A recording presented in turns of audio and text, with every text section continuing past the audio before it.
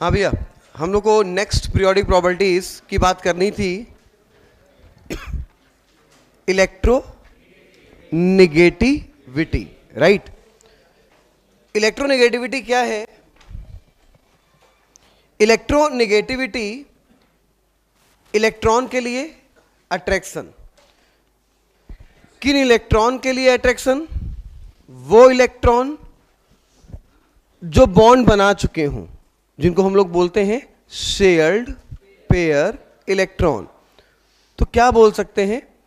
Overall force of attraction towards the share pair electron that is known as the electronegativity अब जो लोग last पे नहीं थे, एक बार वो ध्यान दें। भैया शेयर पेयर इलेक्ट्रॉन क्या होता है? जैसे ये एच है, ये एक्स है। सिंगल बॉन्ड में टोटल दो इलेक्ट्रॉन होंगे। एक होगा एच का और एक होगा एक्स का। एक होगा एच का और एक होगा एक्स का।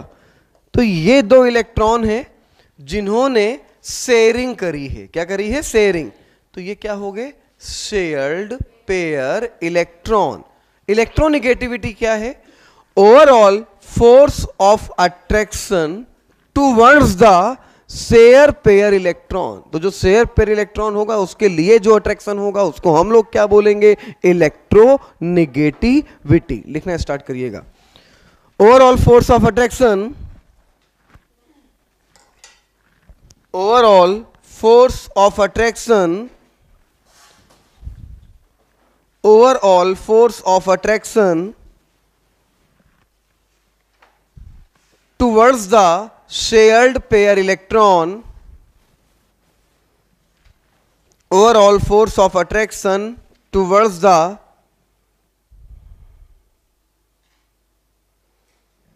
towards the shared pair electron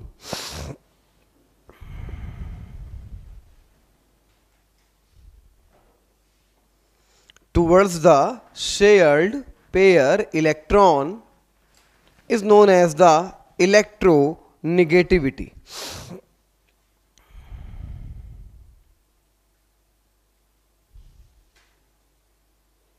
is known as the electronegativity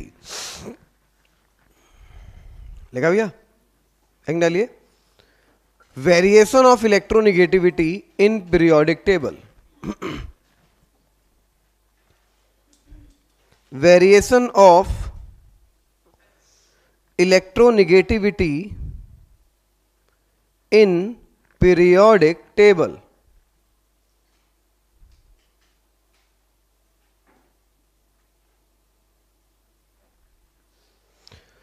moving down the group लिखिएगा moving down the group electronegativity decreases moving down the group electronegativity decreases moving left to right moving down the group electronegativity decreases moving left to right in period moving left to right in period electronegativity increases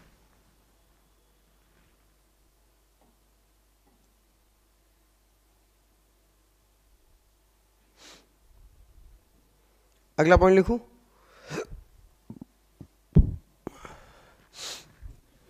All the inert gases all the inert gases hello को ऊपर भेजो। All the inert gases having zero electronegativity all the inert gases having zero electronegativity जितनी भी inert gases हैं, उनकी electronegativity कितनी होती है? ज़ीरो देखो साहब इलेक्ट्रोनिगेटिविटी बराबर घूरो नहीं बेटा, लिखने की हो रही है। Ionisation energy plus electron affinity divided by two electronegativity बराबर ionisation energy plus electron affinity divided by two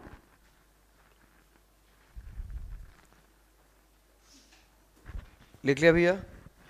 electronegativity को इस तरह से रिप्रेजेंट करता हुआ दिखेगा आपको।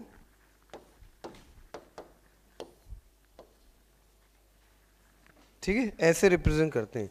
कहीं पे ऐसा बड़ा सा एक्स दिखाई दे। तो समझ लेना इलेक्ट्रोनिगेटिविटी है। बड़ा सा छोटा एक्स समझे नहीं? बड़ा, अबे बड़ा एक्स तो ऐसा होता है ना? छोटा एक्स है कि नहीं है? तो बड़ा सा छोटा एक्स अगर कहीं दिखाई दे तो क्या है? इलेक्ट्रोनिगेटिविटी बड़ा सा छोटा एक्स बड़ा सा, लेकिन है तो छोटा एक्स ना? बड़ा एक्स तो कैपिटल एक्स तो ऐसा होता है बेटा। स्मॉल एक्स बात समझे मेरी, हम क्या बोल रहे हैं? ये स्मॉल एक्स है। ये कैपिटल अब समझ अब समझ गए? अब समझ गए क्या मतलब था?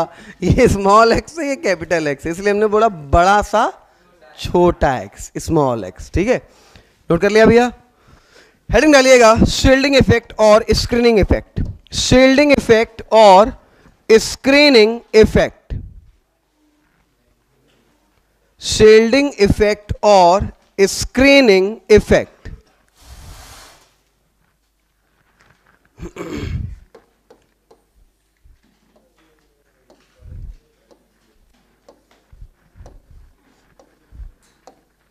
हाँ भैया ध्यान देना। सबसे हो गया? ठीक है। कोई नहीं। हाँ भैया सबसे आखिरी वाली सेल को हम लोग क्या बोलते हैं? वैलेंस सेल वैलेंस सेल के अंदर वाली सेल को पेनल्टीमेट सेल उसके अंदर वाली सेल को एंटी पेनल्टीमेट सेल बता चुके हैं हम आपको पहले ही। वैलेंस सेल है तो ये इलेक्ट्रॉन बैठा हुआ है।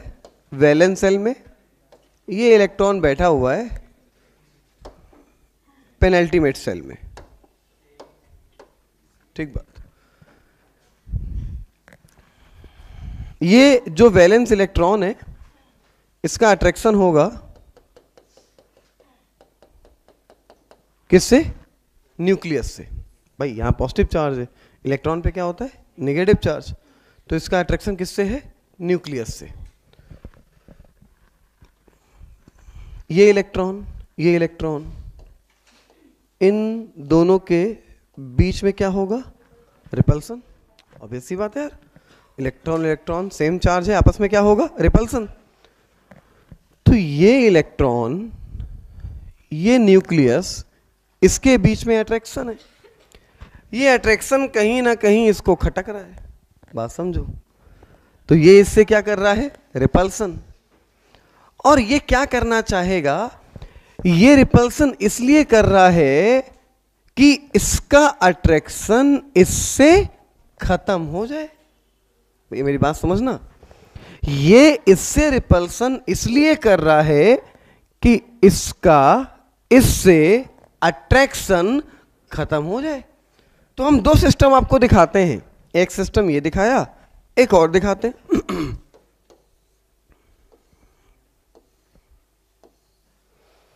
ये आपका हो गया वैलेंसल ये वैलेंसल ये इससे इसका अट्रैक्शन और ये आपका हो गया पेनल्टीमेट सेल का इलेक्ट्रॉन ये इससे क्या करेगा? रिपल्सन ये रिपल्सन क्यों करेगा? क्योंकि अगर ये इससे रिपल्सन करेगा तो इसलिए करेगा कि इसका इससे क्या हो जाए? अट्रैक्शन कम. भाई रिपल्सन करेगा तो इसको दूर करेगा. इसका अट्रैक्शन कम करने की कोशिश करेगा. तो ये कोशिश कामयाब होने के चांस ज़्यादा कहाँ पे? पहले में या दूसरे में? दोनों केजीएमसी में है तो चांस कम है अट्रैक्शन खत्म करने का। एक केजीएमसी में है और एक पहुँच गया मॉरिसस के मेडिकल कॉलेज में। डिस्टेंस बढ़ गई ना साहब? डिस्टेंस बढ़ गई तो अट्रैक्शन आसानी से खत्म किया जा सकता है। बात समझो। यहाँ पे क्या है साहब? यहाँ पे क्या है? यहाँ पे डिस्टेंस कम है, दोनों के में। यहाँ पे डिस्टेंस कम है अट्रैक्शन ज़्यादा है। अट्रैक्शन ज़्यादा है तो इसको बहुत ज़्यादा मेहनत करनी पड़ेगी। इसका अट्रैक्शन इससे खत्म करने के लिए, क्योंकि अट्रैक्शन यहाँ बहुत ज़्यादा है यार। यहाँ पे अट्रैक्शन ऑलरेडी कम है। ये हल्का सा रिपल्सन करेगा। ये अट्रैक्शन खत्म और इलेक्ट्रॉन अलग, क्योंकि यहाँ पे तो अट्रैक्शन ऑलरेडी बहुत कम है यार। इसका काम क्या है? इसका काम है इसके अट्रैक्शन को इससे कम करना, खत्म करना। वो पहले से ही बहुत कम है, क्योंकि डिस्टेंस बहुत ज़्यादा है। तो यहाँ पे इसको कम मेहनत करनी पड़ेगी और यहाँ पे इसको बहुत ज़्यादा। क्या मेरी बात समझ पा रहे हो? आसानी से अट्रैक्शन खत्म कहाँ पे हो जाएगा? पहले में या दूसरे में? मानते हो? सील्डिंग इफ़ेक्ट या स्क्रीनिंग इफ़ेक्ट है क्या? बेसिक मतलब समझना हम लोग डेफिनेशन रट लेते हैं और बस बोलते हैं हाँ, हो गया सब स्क्रीन बेसिक मतलब है क्या वो समझना? यार जो पेनल्टीमेट सेल का इलेक्ट्रॉन होता है जो पेनल्टीमेट सेल का इलेक्ट्रॉन होता है वो वैलेंस सेल के इलेक्ट्रॉन का जो न्यूक्लियस से अट्रैक्शन होता है उसको कम करना चाहता है by the help of the repulsion that is known as the shielding effect और स्क्रीनिंग इफ़ेक्ट फिर सुन लेना एक बार जो पेनल्टीमेट सेल का इलेक्ट्रॉन होता है, वो वैलेंस सेल का इलेक्ट्रॉन जो न्यूक्लियस से अट्रैक्शन रखता है, उसके अट्रैक्शन को कम करता है by the help of the repulsion that is known as the shielding effect और स्क्रीनिंग इफ़ेक्ट क्या स्क्रीनिंग इफ़ेक्ट समझ में आया? नहीं आया। नहीं आया। क्या काम है स्क्रीनिंग इफ़ेक्ट का? क्या खत्म करना? अट्रैक्शन किससे? न्यूक्लियस से। किसका? वैलेंस सेल के इलेक्ट्रॉन का। कौन खत्म करता है? पेनल्टीमेट सेल का इलेक्ट्रॉन कौन खत्म करता है? पेनल्टीमेट सेल का इलेक्ट्रॉन फिर सुनो एक बार। क्या है शील्डिंग इफ़ेक्ट पेनल्टीमेट सेल का इलेक्ट्रॉन अट्रैक्शन खत्म करना चाहता है न्यूक्लियस और वैलेंस सेल का अट्रैक्शन न्यूक्लियस और वैलेंस इलेक्ट्रॉन के अट्रैक्शन को, इसी को हम लोग क्या बोलते हैं? स्क्रीनिंग इफ़ेक्ट और शील्डिंग इफ़ेक्ट नहीं समझ में आया? नहीं आया? पक्का आया?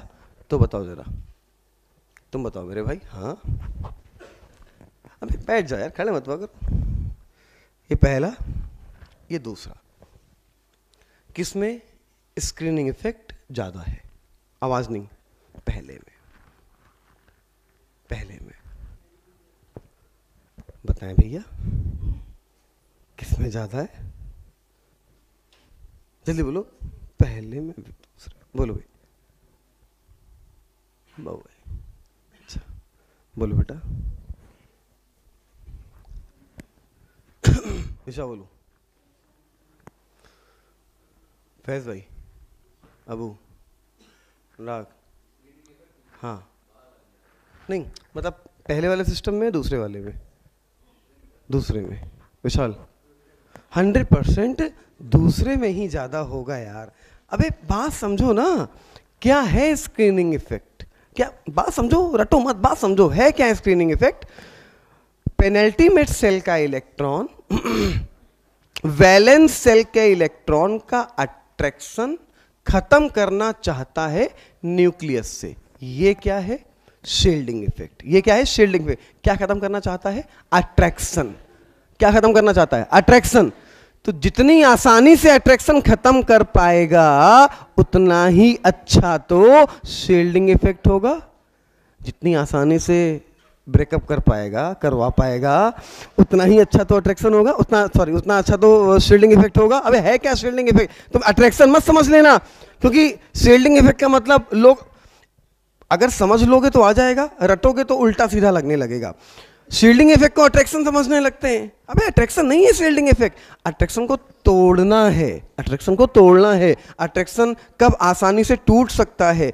जब दूर होगा अट्रैक्शन कम होगा तो आसानी से टूट सकता है। दूर कब होगा? जब नंबर ऑफ़ सेल ज़्यादा होंगी। तो नंबर ऑफ़ सेल ज़्यादा होने से अट्रैक्शन कम होगा। अट्रैक्शन कम होने से इसको मेहनत कम करनी पड़ेगी। आसानी से इसकी बीच की कहानी खत्म कर पाएगा। और ये इसकी बीच की कहानी खत्म करने को ही क्या बोलते हैं? शील्डिंग इफ़ेक्ट जितनी आसानी से खत्म करेगा, उतना अच्छा क्या हो जाएगा? शील्डिंग इफ़ेक्ट या स्क्रीनिंग इफ़ेक्ट बात समझ में आई भैया?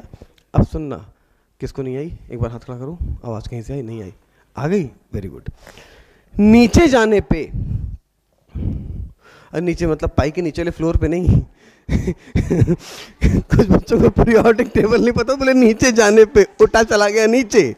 बोले हाँ चले गए नीचे। अब बताओ, साहब, नीचे का मतलब पीरियोडिक टेबल में ग्रुप में नीचे जाने पे नंबर ऑफ़ सेल लगातार बढ़ती है। समझते जाना नंबर ऑफ़ सेल बढ़ती जाएगी, अट्रैक्शन कम होता जाएगा, इसको मेहनत कम करनी पड़ेगी, आसानी से अट्रैक्शन खत्म कर पाएगा, उतना अच्छा क्या होगा? शील्डिंग इफ़ेक्ट और स्क्रीनिंग इफ़ेक्ट तो down the group shielding effect या स्क्रीनिंग इफ़ेक्ट बोलो, बढ़ता या घटता? बढ़ता या घटता? बढ़ता, क्योंकि नंबर ऑफ़ सेल बढ़ती है। बात समझ में आ गई? अब सुनना। अब सुनना हाँ सर ना ना ना ना, ये गलत है, ये गलत है, साइज़ पे डिपेंड करता है। ना ना ना ना ना, मेरे भाई। इधर जाने पे स्क्रीनिंग इफ़ेक्ट और शील्डिंग इफ़ेक्ट कांस्टेंट रहता है। कोई फ़र्क नहीं पड़ता है स्क्रीनिंग इफ़ेक्ट और शील्डिंग इफ़ेक्ट पे। हम लोग क्या, हम लोग क्या पढ़ रहे हैं? हेडिंग क्या है? शील्डिंग इफ़ेक्ट और स्क्रीनिंग इफ़ेक्ट राइट जो नंबर ऑफ़ सेल होती है वो स्क्रीन की तरह वर्क करती है। पहली स्क्रीन दूसरी स्क्रीन तीसरी स्क्रीन चौथी स्क्रीन इस वजह से इसको हम लोग क्या बोलते हैं? स्क्रीनिंग इफ़ेक्ट ठीक? अब सुनना। जब नंबर ऑफ़ स्क्रीन या नंबर ऑफ़ सेल बढ़ेंगी, ये क्या मानता है? ये सिर्फ़ इतना मानता है कि जब नंबर ऑफ़ सेल बढ़ेंगी, घटेंगी, तभी अट्रैक्शन बढ़ेगा या घटेगा। जो इधर जाने पे रेडियस कम होती ना, बहुत माइन्यूट सा चेंज होता है। बहुत माइन्यूट सा। हमने बोला था ना आपसे एटॉमिक रेडियस में इधर जाने पे घटती है, इधर जाने पे बढ़ती है। याद है कि नहीं याद है? इधर जाने पे बढ़ती है, दो पिकोमीटर से चालीस पिकोमीटर चालीस से अस्सी पिकोमीटर ऐसे बढ़ती है। यहाँ दो, इधर जाने पे घटती है, घटती कैसे? दो पिकोमीटर से 1.8 पिकोमीटर 1.7 1.5 ऐसे। मतलब मेरे बात समझ पा रहे हम क्या बोलना चाह रहे हैं?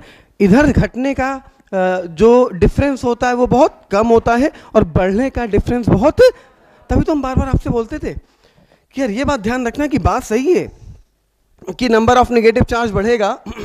तो रेडियस बढ़ेगी नंबर ऑफ़ पॉजिटिव चार्ज बढ़ेगा तो रेडियस घटेगी। आयनिक रेडियस में हमने आपसे बताया था। याद है कि नहीं याद है? लेकिन सबसे पहले क्या देखेंगे? नंबर ऑफ़ सेल याद है कि नहीं याद है? क्योंकि नंबर ऑफ़ सेल बढ़ने से एटॉमिक रेडियस बहुत तेज जम करती है। तो नीचे जाने पे ये क्या मानता है? स्क्रीनिंग इफ़ेक्ट क्या मानता है?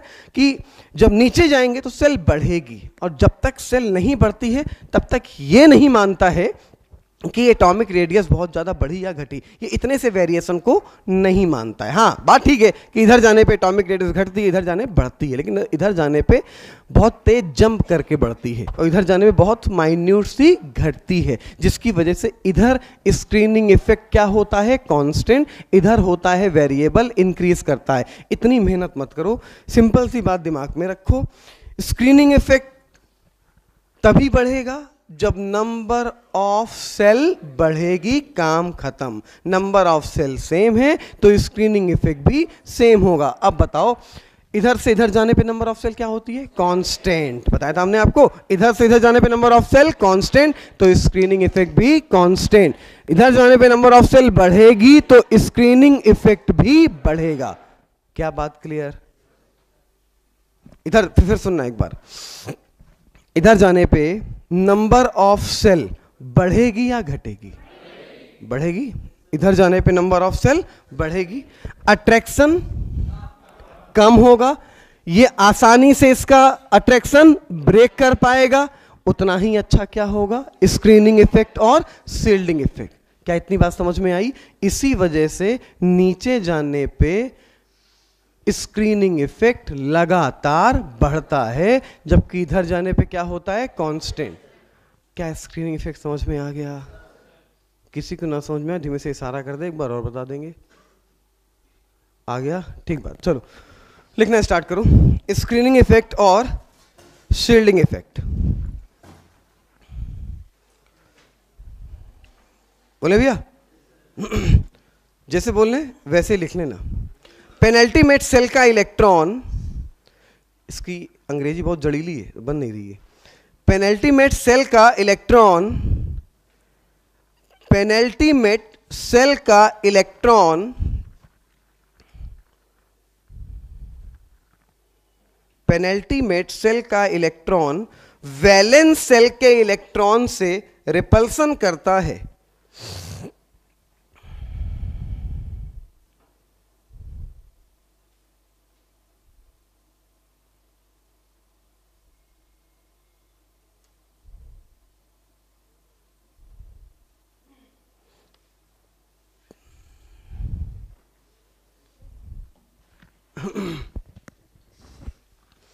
पेनल्टीमेट सेल का इलेक्ट्रॉन वैलेंस सेल के इलेक्ट्रॉन से रिपल्सन करता है। जिससे जिससे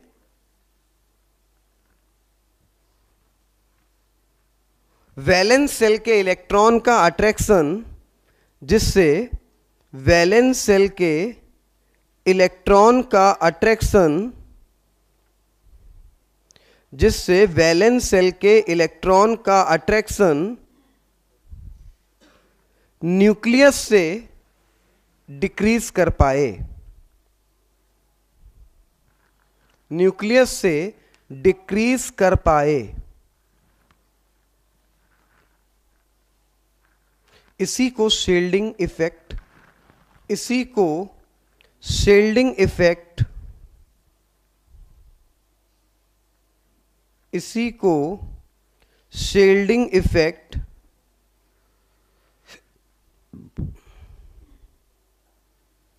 और स्क्रीनिंग इफ़ेक्ट कहते हैं।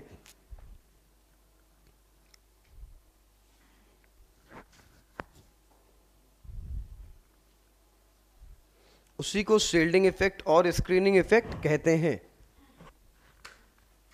इसका मतलब आगे लिखूं, इसका मतलब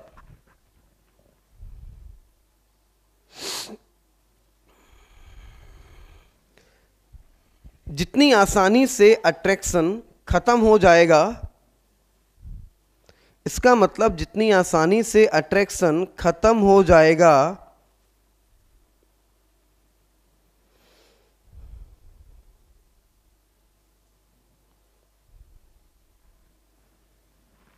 इसका मतलब जितनी आसानी से अट्रैक्शन खत्म हो जाएगा, उतना अच्छा उतना अच्छा सेल्डिंग इफ़ेक्ट होगा।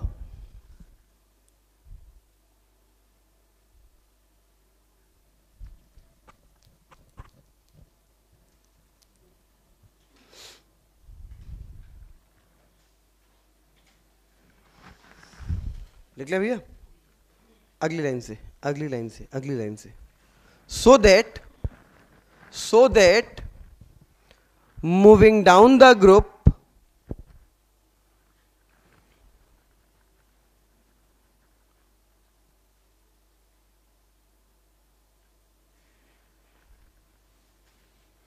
moving down the group so that moving down the group screening effect increases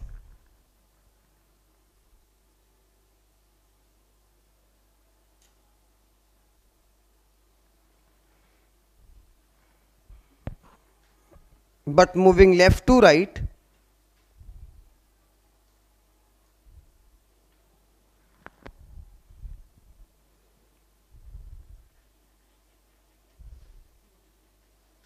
but moving left to right screening effect will be constant.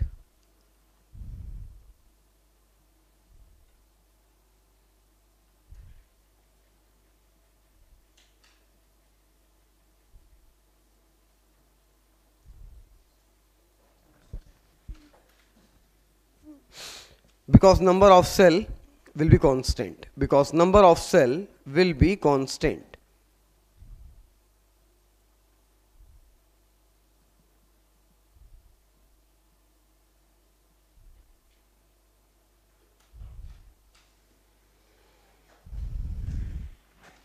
note कर लिया भैया?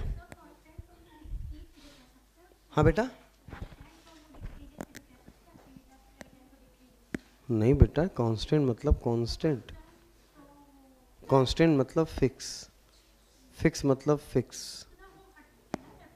हाँ? फिर से बोलो। क्या घटती है? नंबर ऑफ़ सेल नहीं घटती बेटा। नंबर ऑफ़ सेल सेम रहती है, लेफ़्ट टू राइट जाने पे। रेडियस रेडियस ना, रेडियस घटती है, लेकिन नंबर ऑफ़ सेल सेम रहती है। शील्डिंग इफ़ेक्ट रेडियस पे डिपेंड नहीं करता है, शील्डिंग इफ़ेक्ट सेल पे डिपेंड करता है। सेल बढ़ेगी, घटेगी तो बढ़ेगा, घटेगा, सेल सेम है तो शील्डिंग इफ़ेक्ट सेम है। बात क्लियर हो गई? ठीक। हाँ भैया, दोनों फिगर बनाइए। ये भी बनाइए, ये भी बनाइए। हाँ भैया, नोट कर लिया? नीचे लिखो? बताओ क्या लिखें? पहले का ज़्यादा या दूसरे का? नीचे लिखो। सेकेंड वाले का स्क्रीनिंग इफ़ेक्ट पहले वाले से ज़्यादा होगा। हाँ भैया नोट कर लिया।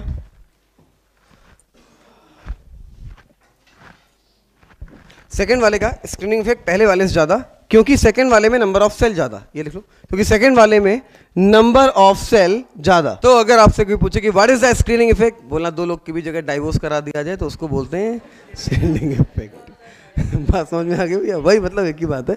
तो उसको हम लोग क्या बोलते हैं? शेल्डिंग इफ़ेक्ट और स्क्रीनिंग इफ़ेक्ट ठीक है? याद रहेगा ना भैया? नीचे जाने पे बढ़ेगा, इधर जाने पे कांस्टेंट रहेगा, ठीक है? हमें कुछ बातें फटाफट जरा याद दिलाओ, क्योंकि मेन पीरियोडिक प्रॉपर्टीज़ खत्म हो चुकी हैं, कुछ बकवास टाइप की बाकी हैं, जिनका हमें खाली वेरिएशन बताना है कि डाउन द ग्रुप क्या फ़र्क पड़ेगा।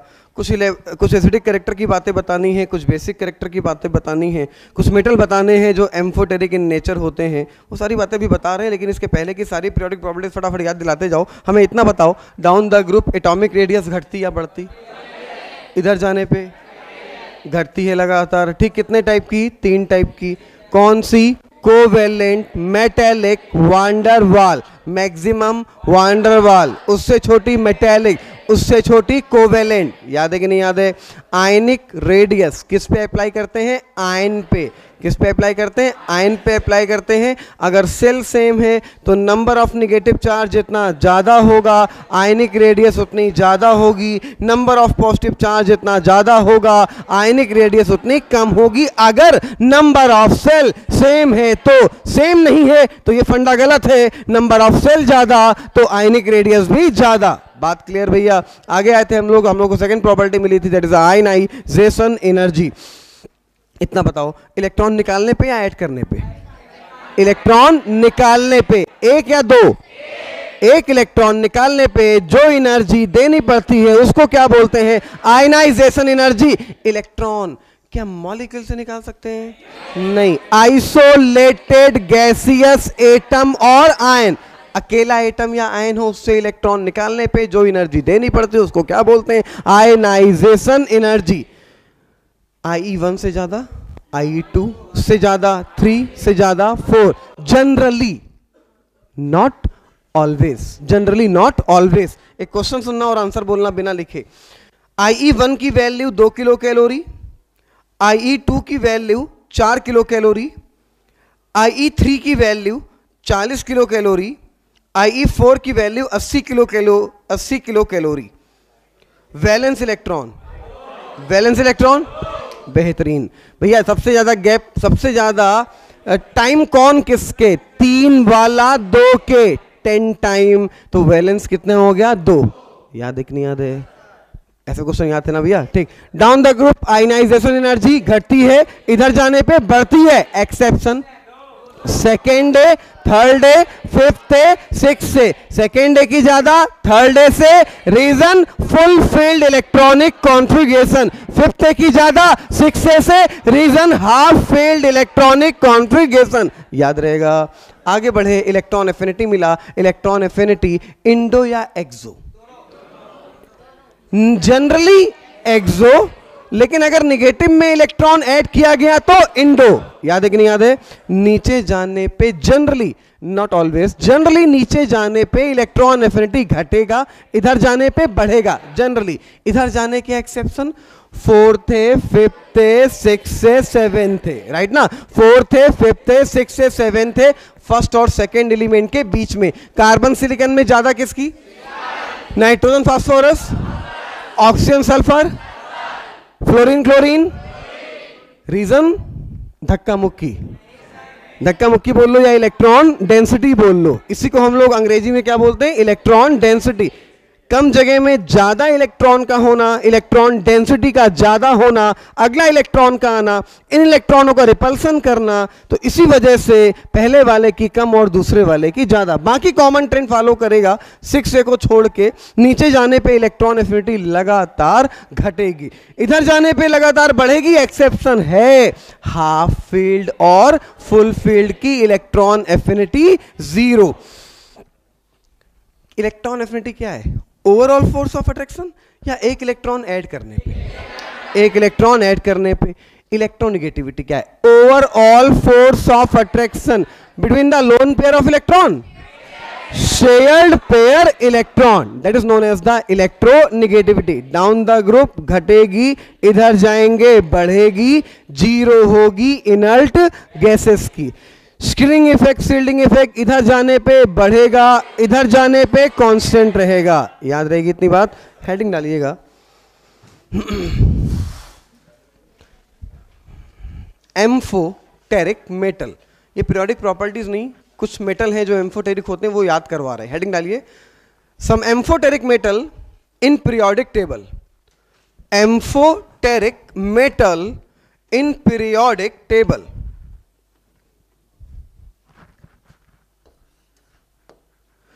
A B C D आती? वेरी गुड सबसे पहले क्या आता है? ए तो ए एल पहले लिख लिया, उसके बाद लिख लिया A S amphoteric metal most most most most most important P block में काम पड़ेगा एस ब्लॉक में काम पड़ेगा हाइड्रोजन एंड कंपाउंड में काम पड़ेगा. बहुत ज़्यादा काम पड़ेगा तो याद करवा दे रहे जरा सुनना। A B C D A से स्टार्ट होती तो ए से याद करना शुरू कर रहे हैं। तो ए वाले दो, एक लिखना नहीं पेन को नीचे रख दो। A L A S A सबसे स्टार्ट किससे करेंगे? ए से। तो ए वाले दो ए एल और ए एस तो ए वाले तो याद ही रहेंगे यार। तो उनको याद क्या करना है? हटा दो। ये तो याद ही रहेगा यार। A A B C D A से स्टार्ट ए एल और ए एस ए एल और ए एस एल्यूमिनियम और आर्सेनिक। एल्यूमिनियम और आर्सेनिक। याद रहेगा? ए के बाद क्या आएगा? वेरी गुड आ गया ए के बाद भी देखो बोरॉन फिर उसके बाद थोड़ा और बीई बेरेलियम पेन को नीचे रख पेन नीचे रख पेन नीचे रख। लिखना नहीं? लिखना लिखना नहीं लिखना नहीं लिखना नहीं? वही, पहले ए आया ए के बाद क्या आया? B A L A S B B E फिर एस बी अबे ये तुम्हारी वाली एबीसीडी नहीं है। हाँ, सी कहाँ गया? बकलोल। जो याद कर रहा है चुपचाप याद कर। सी कहाँ गया? अब ध्यान देना। ए एल और उसके बाद A S B B E S B P B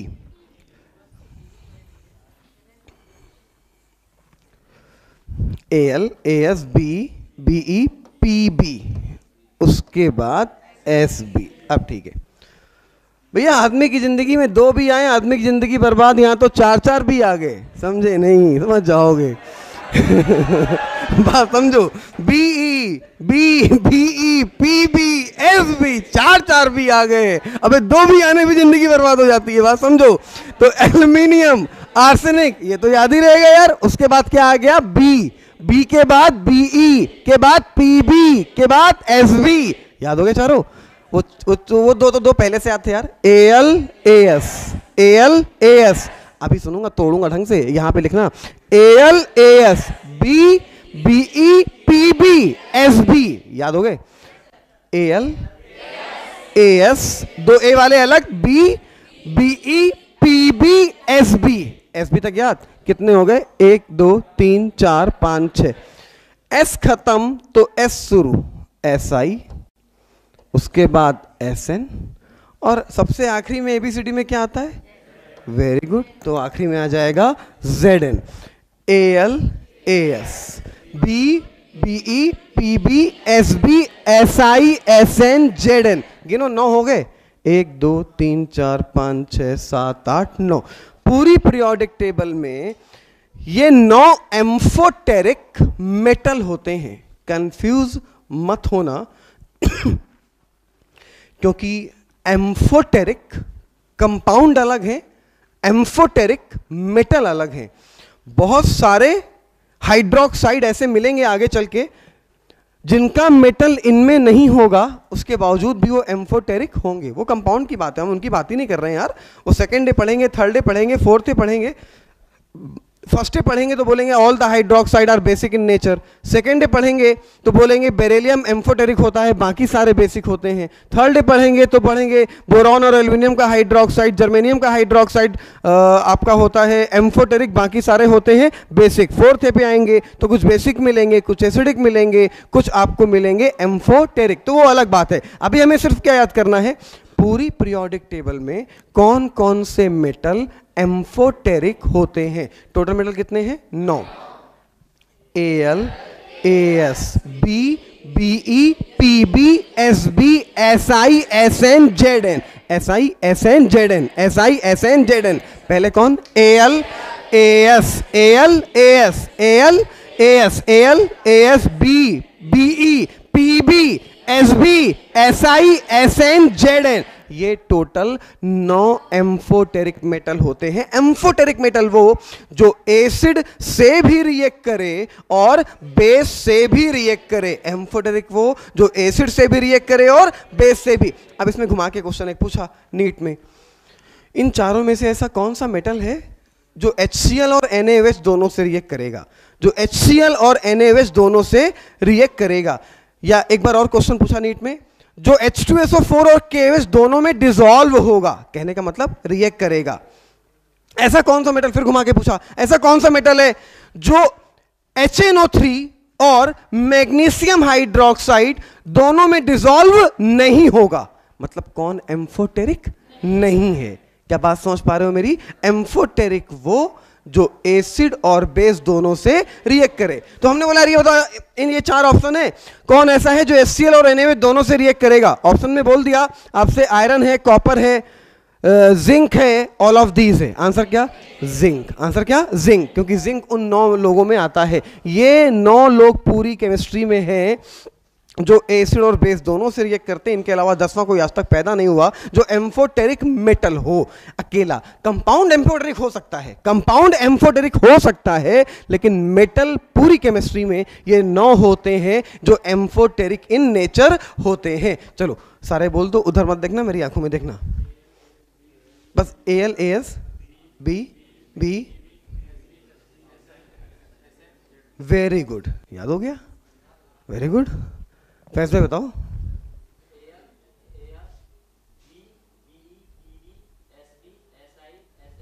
very good अब इन्हीं मेटल को पता है, हम लोग शायरी से याद करते हैं। बात समझो। नहीं, हम कोई शायरी नहीं, याद करवाया जाता है। बात समझो, हम शायरी से आपको कभी भी कोई मेटल नहीं याद करवाएँगे। उसका रीज़न है, शायरी मतलब पहले शायरी याद करो, फिर उसकी कनेक्टिविटी याद करो। बात समझना, पहले शायरी याद करी फिर उसकी मेटल से कनेक्टिविटी याद करी कि इसका मतलब यहाँ पे बस है, लेकिन तुम्हें ये पढ़ना नहीं है। शायरी में वो वर्ड है, लेकिन उसको वहाँ पे कनेक्ट नहीं करना है। पहले शायरी याद करी, उसकी कनेक्टिविटी मेटल से याद करी, फिर मेटल की कनेक्टिविटी शायरी से याद करी। दो महीने बाद शायरी याद रही, उसकी भावनाएँ याद रहीं। उसमें खो गए और मेटल भूल गए। अबे भैया, कोई शायरी वायरी से मेटल याद नहीं करना डायरेक्ट याद करेंगे। भाई, इतनी मेहनत क्या को करना? पहले शायरी याद करें, फिर उसकी कनेक्टिविटी याद करें, फिर बोले, इस वर्ड का कोई मतलब नहीं है, इसको खाली ऐसे याद करेंगे भाई, क्यों?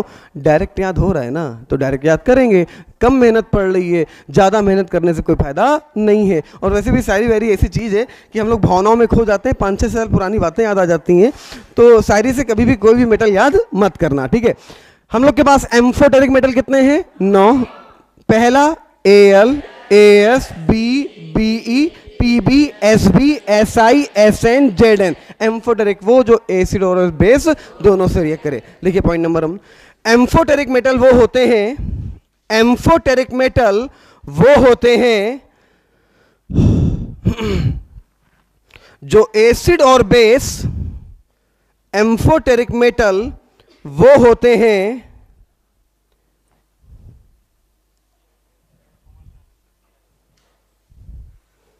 एम्फोटेरिक मेटल एम्फोटेरिक मेटल वो होते हैं जो एसिड और बेस से, जो एसिड और बेस दोनों से रिएक्ट करते हैं। एम्फोटेरिक मेटल वो होते हैं जो एसिड और बेस दोनों से रिएक्ट करते हैं।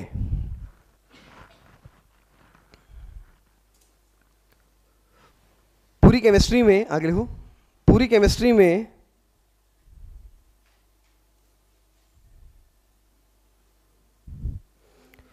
नौ एम्फोटेरिक मेटल है।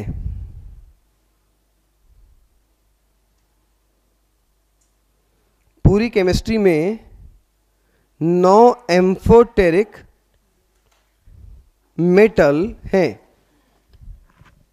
नोट कर डालो भैया।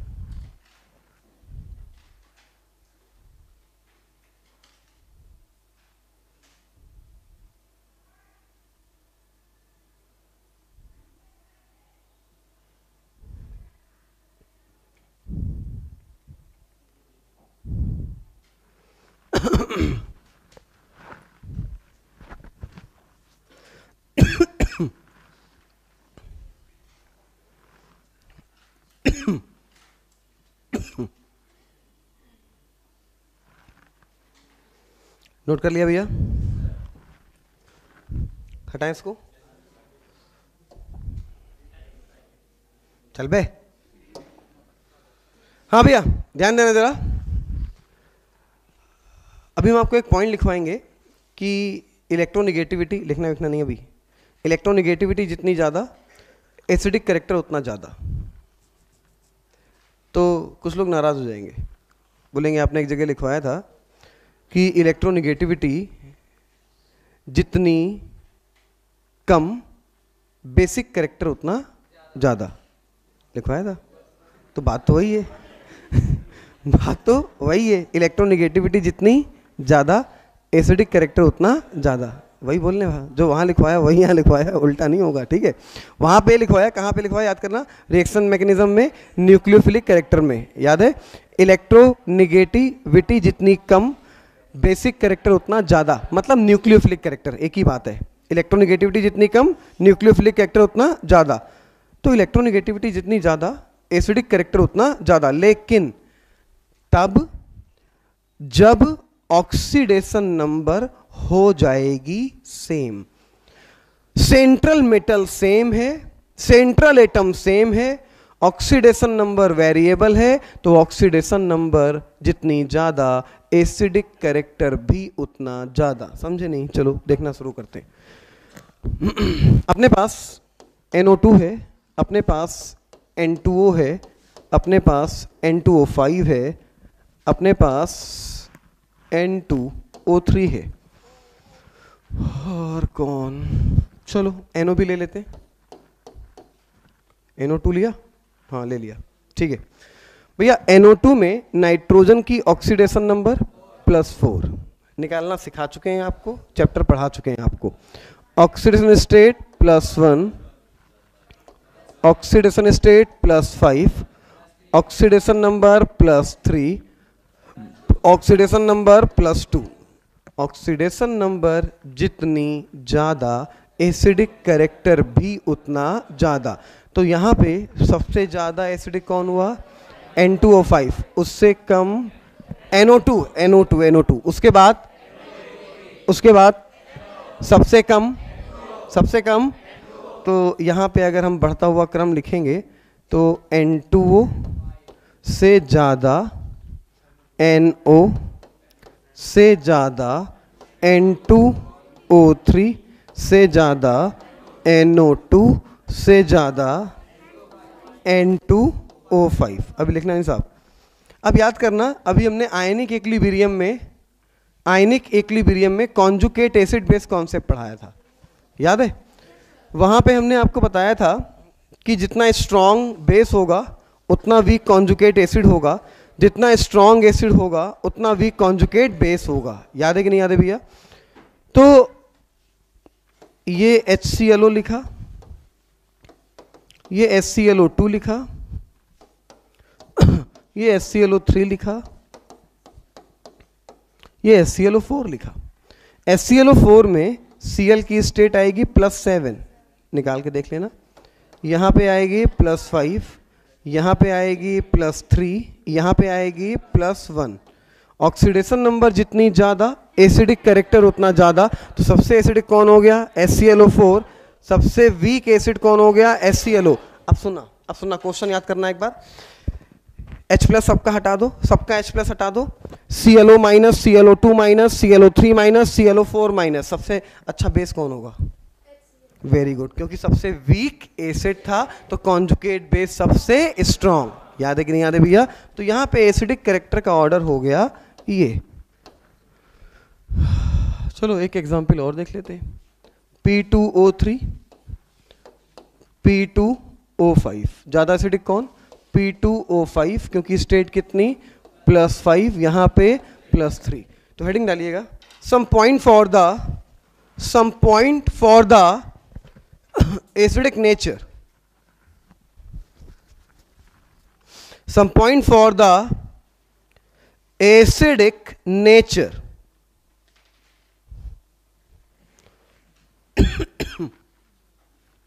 Point number 1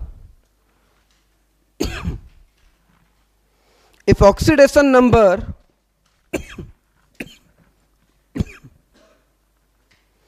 if oxidation number increases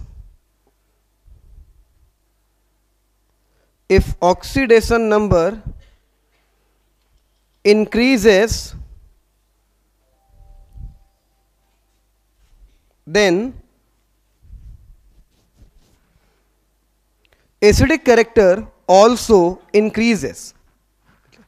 Then acidic character also increases.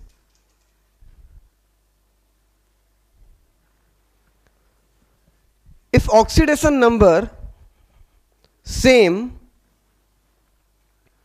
if oxidation number same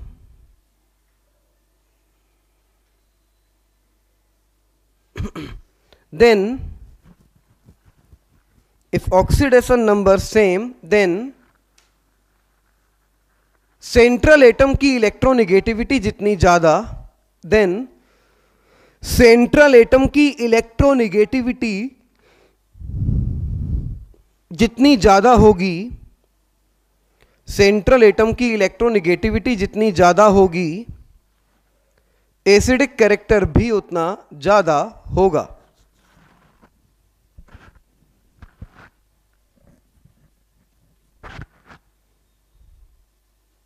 central atom की इलेक्ट्रोनिगेटिविटी जितनी ज़्यादा होगी एसिडिक कैरेक्टर भी उतना ज़्यादा होगा। क्या ये लिखने के पहले ये लिखा है? अगर ऑक्सीडेशन नंबर सेम हो जाएगी तो। लिखा है ना ये? ठीक बात। अब ये सारे एग्ज़ाम्पल नोट करो। याद मत करना, खाली नोट कर लो। याद मत करना पॉइंट दिमाग में रखना ऑक्सीडेशन नंबर जितनी ज़्यादा एसिडिक कैरेक्टर उतना ज़्यादा। दैट्स ऑल वो किसी का भी निकाल लोगे। नोट कर लिया भैया? हटाएँ इसको। अब देख लो। P two O five N two O five state plus five, state plus five. State, same, क्या? इलेक्ट्रोनिगेटिविटी। ज़्यादा किसकी? एन की। कम किसकी? पी की। तो एसिडिक करेक्टर ज़्यादा किसका हो गया? एन टू ओ फाइव का।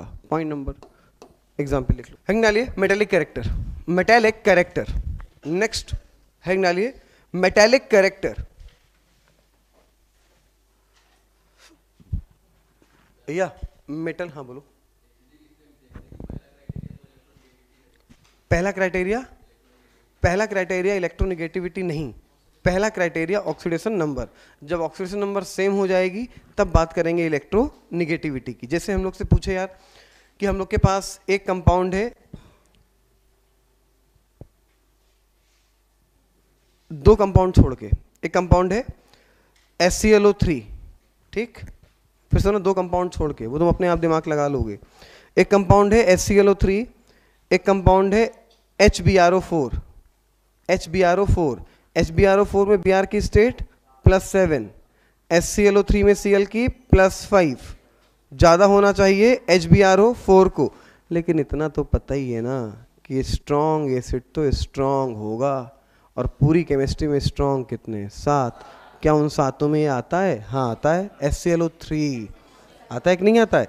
तो इसका एसिडिक कैरेक्टर तो उससे ज़्यादा होगा ही होगा। तो उन सातों को दिमाग से हटा के चलोगे तो ये पॉइंट अप्लाई होते चले जाएँगे। वो सात एसिड जो स्ट्रांग है स्ट्रांग है तो ऑब्वियस सी बात है। उन सातों का एसिडिक कैरेक्टर दुनिया में किसी से भी ज़्यादा है, वहाँ कोई बात अप्लाई होने वाली नहीं है कि क्या ऑक्सीडेशन नंबर क्या इलेक्ट्रोनिगेटिविटी क्या तीन और क्या तेरह। बात समझ में आ गई? उन सातों का एसिडिक कैरेक्टर दुनिया में सबसे ज़्यादा है। बात क्लियर होगी भैया। अच्छा उन सातों में भी बोलोगे सबसे खतरनाक कौन? तो एस सी फोर सबसे खतरनाक होता है। उनका भी ऑर्डर लिखवाएँगे, लेकिन अभी नहीं। हाइड्रोजन एंड इट्स कंपाउंड में अभी स्टार्ट आज ही स्टार्ट कर देंगे। हाँ हेडिंग डाले अपने मेटेलिक कैरेक्टर भैया मेटेलिक कैरेक्टर क्या होता है?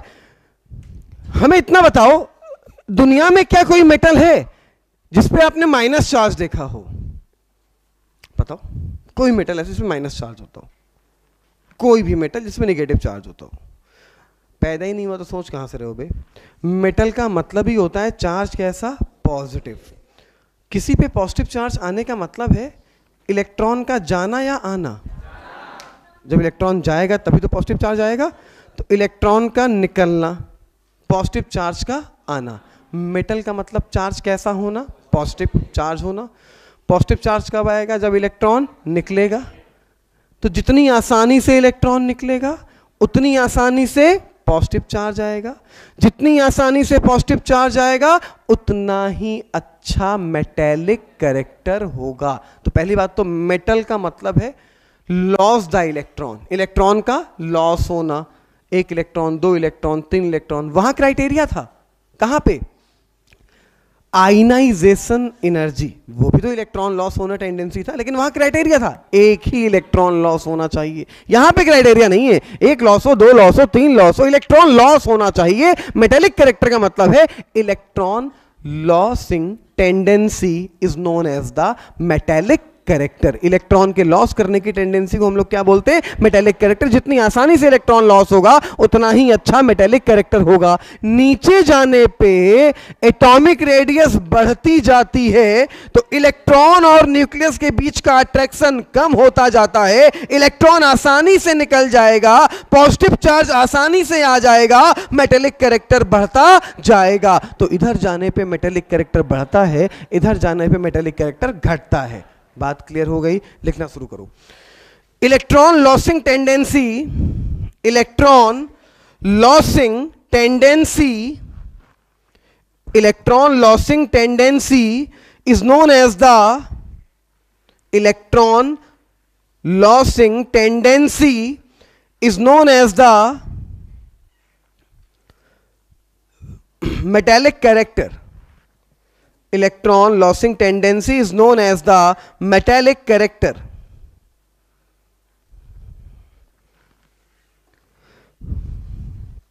जितनी आसानी से इलेक्ट्रॉन लॉस होगा, आगे लिखो, जितनी आसानी से इलेक्ट्रॉन लॉस होगा,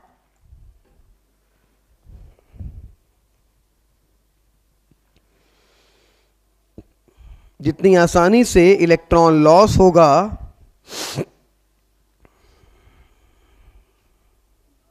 जितनी आसानी से इलेक्ट्रॉन लॉस होगा, उतना अच्छा मेटेलिक करेक्टर होगा।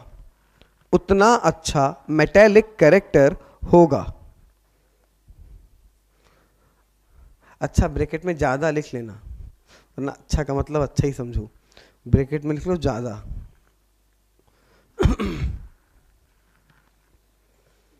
लिखा भैया? अब नेक्स्ट लाइन से लिखो। Moving down the group moving down the group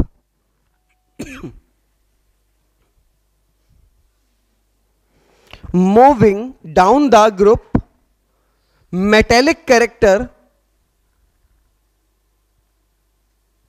लगातार बढ़ेगा देखो moving down the group metallic character लगातार बढ़ेगा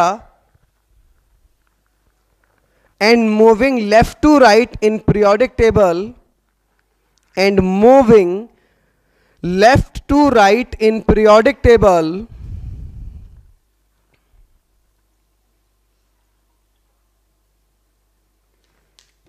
metallic character regularly decreases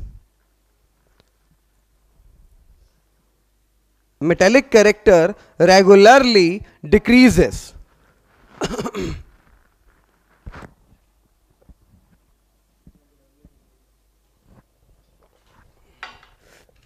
Heading डालो नॉन मेटेलिक कैरेक्टर हेडिंग डालो नॉन मेटेलिक कैरेक्टर अगली periodic property non metallic character बस इतना लिख लो मेटेलिक कैरेक्टर का उल्टा. और कुछ नहीं लिखना इसमें, खाली इतना लिख लो मेटेलिक कैरेक्टर का उल्टा. वो इलेक्ट्रॉन लॉसिंग टेंडेंसी थी, ये electron gain tendency electron affinity की तरह. एफिनिटी में क्राइटेरिया था एक इलेक्ट्रॉन ऐड करना है, यहाँ पे कोई क्राइटेरिया नहीं, एक, दो, तीन, चार जितने इलेक्ट्रॉन भी ऐड करो, ठीक है? नीचे जाने पे मेटेलिक करेक्टर लगातार बढ़ता है मेटेलिक कैरेक्टर तो नॉन मेटेलिक करेक्टर लगातार घटेगा, इधर जाने पे बढ़ेगा। लिख लिया भैया? ठीक बात। एनसीआरटी निकालो। हाइड्रोजन एंड इट्स कंपाउंड हाँ? अभी क्यों बताएँगे यार? ये बैच कौन सा चल रहा है? वो ढाई वाले की बात, ढाई में करेंगे यार। क्या यार? हाँ भैया। याद दिला देना लेकिन। ठीक है, दोपहर में। एनसीआरटी है ना सबके पास? घूसा मारेंगे अभी? पूरे बैच में अनाउंस किया था हमने। किस किस सीट में एक भी एनसीआरटी नहीं? सीट में। इधर तुम्हारे पास है ना? इधर है इधर है इधर है। इधर? पीछे है? एक है। इधर कितनी है? दो है, एक इधर दे दो, एक इधर पास करा दो। नहीं, चोरी नहीं होगी, परेशान ना हो। इधर है, दुबे, इधर है। है? है कि नहीं बे? अगले तुम ले आना। आज बगल से काम चला लो। ठीक है, सुनूँगा नेक्स्ट टाइम पे ध्यान रखना। इधर है एक दो, एक है। नहीं नहीं, ये कूड़ा ये कूड़ा है। वो कूड़ा है हाँ बेटर मच बेटर हाँ बस ठीक। हाँ भैया, सुनते जाना। हाइड्रोजन, बस एनसीआरटी भी हाथ पे रखना। पहले एनसीआरटी की सारी बातें याद करेंगे, फिर दिखा देंगे कहाँ पे क्या लिखा हुआ है। बस अभी अपने पास रखो, अभी सुनते जाओ। Hydrogen and its compound. कुछ बातें सुनो जरा। हाइड्रोजन एंड इट्स कंपाउंड की, हाइड्रोजन की बड़ी अलग कहानी है। हम लोग ने क्या चैप्टर आज तक देखा? Lithium and its compound sodium and its compound नहीं. किसी एक एटम पे कोई एक चैप्टर बनाओ पूरा का पूरा? नहीं. आज तक नहीं देखा यार.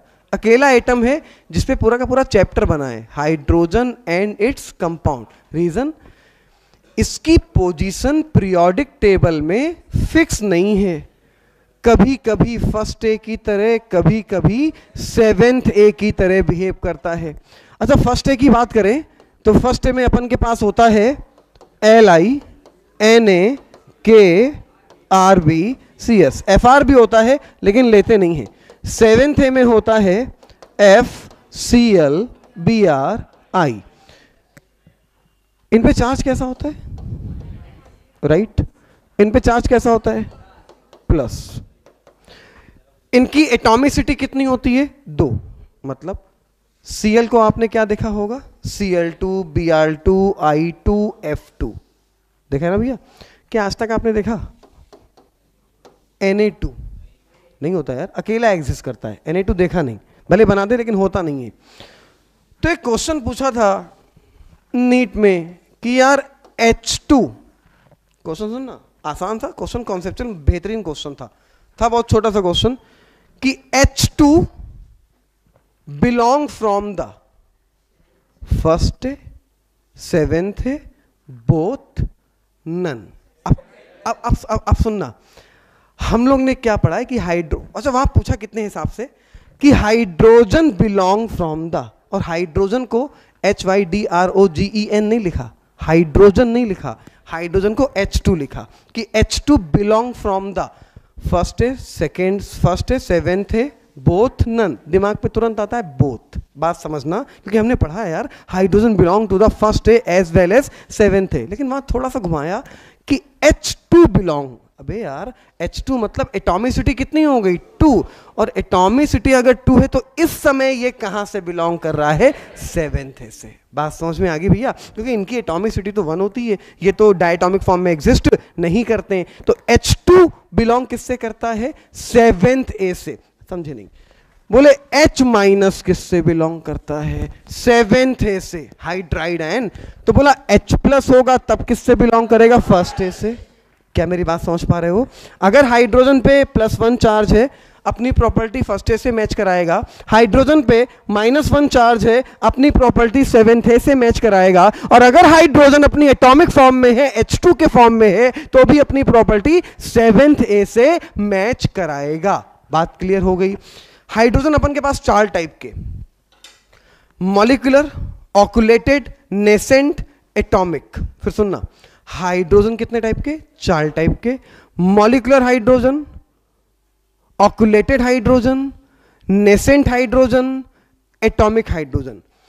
पूरी केमिस्ट्री में सबसे ज़्यादा रिएक्टिव हाइड्रोजन होता है एटॉमिक। सबसे ज़्यादा रिएक्टिव कौन होता है? एटॉमिक।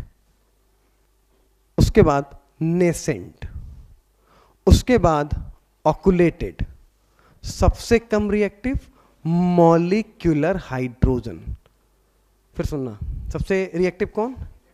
एटॉमिक उससे कम रिएक्टिव नेसेंट उससे कम रिएक्टिव ऑकुलेटेड सबसे कम रिएक्टिव मॉलिक्यूलर एक तुमने बहुत, दस साल, पंद्रह साल पुरानी अगर मूवी देखी हो तो उसमें बोलता था मोना, आगे पता नहीं क्या बोलता था।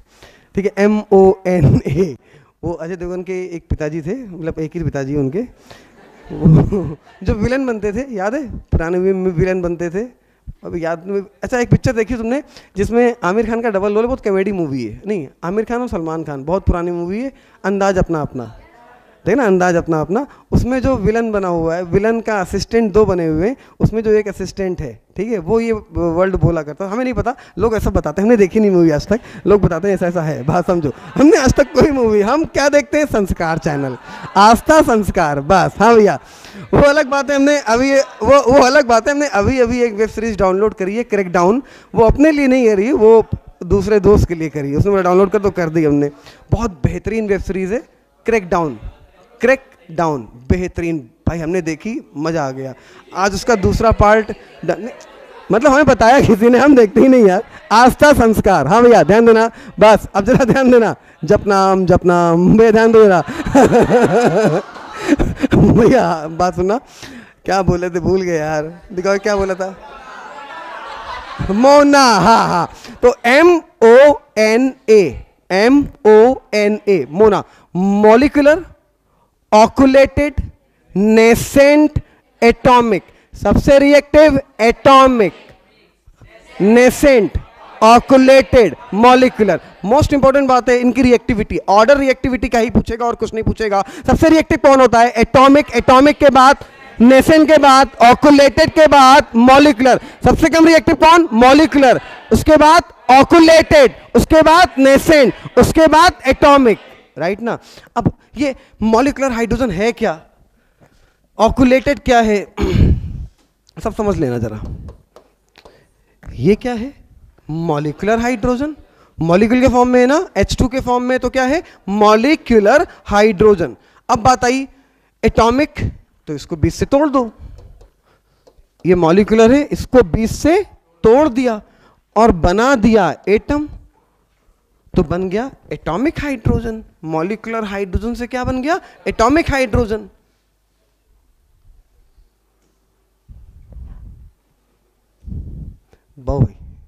ये बताओ कि मॉलिकुलर हाइड्रोजन से एटॉमिक हाइड्रोजन बनाने के लिए टेम्परेचर और प्रेशर की कंडीशन ली चेटेलियस प्रिंसिपल याद करो फटाक से उड़ा लो high temperature high pressure low temperature low pressure low temperature high pressure high pressure low temperature क्या कंडीशन रखें कि मॉलिकुलर से नेसेंट ज़्यादा से ज़्यादा बने? बोलो मेरे भाई। अरे गलत सर, कुछ भी बोलो यार, कोई फ़र्क नहीं पड़ता। यहाँ कोई एग्ज़ाम नहीं हो रहा। हाई बोलो। बोलो भाई। बोलो बेटा। बोलो। रिएक्शन इंडो या एक्सो इंडो में जाना कहाँ है? फॉरवर्ड टेम्परेचर बढ़ाएँगे। याद है कि नहीं याद है? तो टेम्परेचर हो गया हाई टेम्परेचर हो गया हाई प्रेशर बढ़ाएँगे रिएक्शन वहाँ जाएगी जहाँ के मोल कम. तो घटाएँगे तो वहाँ जहाँ के मोल ज़्यादा. ज़्यादा मोल के साइड पे जाना है प्रेशर क्या करना पड़ेगा? कम। तो हाई टेम्परेचर लो प्रेशर बताया था हमने आपको हाई टेम्परेचर लो प्रेशर तो ये मॉलिकुलर से मॉलिकुलर से एटॉमिक हाइड्रोजन बनाने के लिए मॉलिकुलर से एटॉमिक हाइड्रोजन बनाने के लिए टेम्परेचर हाई प्रेशर लो अब बात आई कि यार ये नेसेंट हाइड्रोजन क्या होता है? दिमाग में एक बकवास लिखी कि यार जो हाइड्रोजन ऐसे लिखा हो, वो नेसेंट भैया, ऐसा नहीं है। नेसेंट हाइड्रोजन का मतलब होता है, बताओगे? हाँ।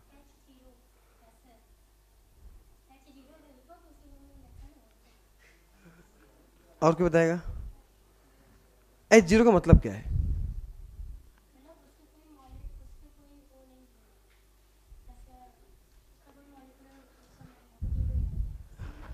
और क्या बताएगा? सिंगल हाइड्रोजन तो बेटा ये भी है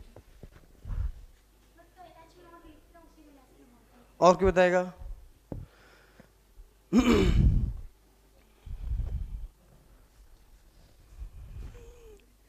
एक बेबी पैदा हुआ सुबह दस बज के दस मिनट एक सेकेंड पे।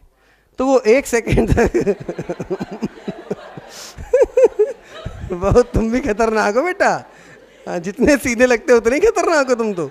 तुमको तुमने आज ही पकड़ा। हाँ ध्यान देना जरा। कर मुबारक हो। हाँ भैया। दस बज के दस मिनट एक सेकेंड पे। तो दस बज के दस मिनट एक सेकेंड तक वो नेसेंट था। दूसरे सेकेंड वो नेसेंट नहीं रहा। मेरी बात समझना। ऐसा हाइड्रोजन जो दुनिया में जस्ट अभी अभी आया हो that is known as the nascent hydrogen nascent hydrogen को एच नहीं बोल सकते हो एच टू नहीं बोल सकते हो, कुछ नहीं. Nascent hydrogen newly born hydrogen जो जस्ट अभी अभी पैदा हुआ हो, ऐसे हाइड्रोजन को बोलते हैं नेसेंट हाइड्रोजन तो जब भी हाइड्रोजन को बनाते हैं ना, पहले नेसेंट बनता है, फिर नेसेंट अपने आप को बदल लेता है मॉलिक्यूलर में। मतलब जब आप रिएक्शन कराते हो जिंक की H2SO4 से, आप रिएक्शन कराते हो जिंक की H2SO4 से तो आप रिएक्शन देखते हो ZnSO4 प्लस बुक में H2 लिखा देखते हो। लेकिन H2 पहले नहीं बनता है। पहले बनता है नेसेंट हाइड्रोजन फिर वो कन्वर्ट होता है H2 में। नेसेंट हाइड्रोजन का मतलब जो जस्ट अभी अभी पैदा हुआ हो। Newly born hydrogen is known as the nascent hydrogen इतनी बात क्लियर भैया? तो कुछ पॉइंट एनसीआरटी में ही लिखवाएँगे। कहाँ कहाँ लिखने हैं? चलो, देखते आते पेंसिल से लिखना, ठीक है? जिसके पास है वो लिखे, जिसके पास नहीं हो ताली बजे जो वो कॉपी में लिख ले, बाद में फेयर कर लेगा, कोई दिक्कत नहीं भैया।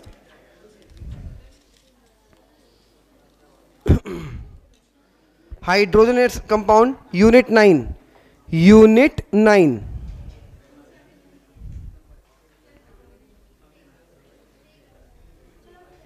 heading है 9.1 position of hydrogen in periodic table मिला? Position of hydrogen in periodic table मिल गया भैया? ठीक है पैराग्राफ वन कुछ भी अंडरलाइन मत करना, सुनना। जहाँ पे अंडरलाइन कराना होगा, वो हम बता देंगे। Hydrogen is the first element in the periodic table however its placement in the periodic table has been a subject of discussion in the past as you know by the not that element in the periodic table are arranged according to their electronic configuration कुछ भी नहीं पढ़ना छोड़ दो आगे आ जाओ hydrogen has electronic configuration 1s1 1s1 पे underline मारो 1s1 पे अंडरलाइन मारो बस आगे अभी जब बोलेंगे तभी अंडरलाइन मारना। On one hand its electronic configuration is similar of outer electronic configuration N S one of alkali metal underline मारो एन एस वन और एल्कली मेटल पे। अंडरलाइन मारो N S one of alkali metal बस इतने पे। बस आगे छोड़ दो, आगे पढ़ो। Which belong of first group of the periodic table on the other hand halogen with the ns2 np5 electronic configuration underline मारो हेलोजन पे। इलेक्ट्रॉनिक कॉन्फ़िगरेशन पे अंडरलाइन मारो ns2 np5 बस आगे सुनना अंडरलाइन ना मारना भी belong to the seventeenth group of periodic table it is short by one electron to the corresponding of noble gas configuration helium कुछ भी अंडरलाइन मत मारना। Therefore resemble to the alkali metal which loss the one electron unipositive as well as halogen which gain हाँ यहाँ से। अभी हमने आपको बताया ना, सुनना। अगर एच प्लस होगा यूनिपॉजिटिव मतलब एक पॉजिटिव चार्ज होगा तो क्या होगा? फ़र्स्ट ए और यूनिनेगेटिव मतलब एक निगेटिव तो क्या होगा? सेवेंथ ए वही लाइन लिखी हुई है अंडरलाइन मारिए। कहाँ से कहाँ तक? सुनना। विच लॉस वन इलेक्ट्रॉन यहाँ से।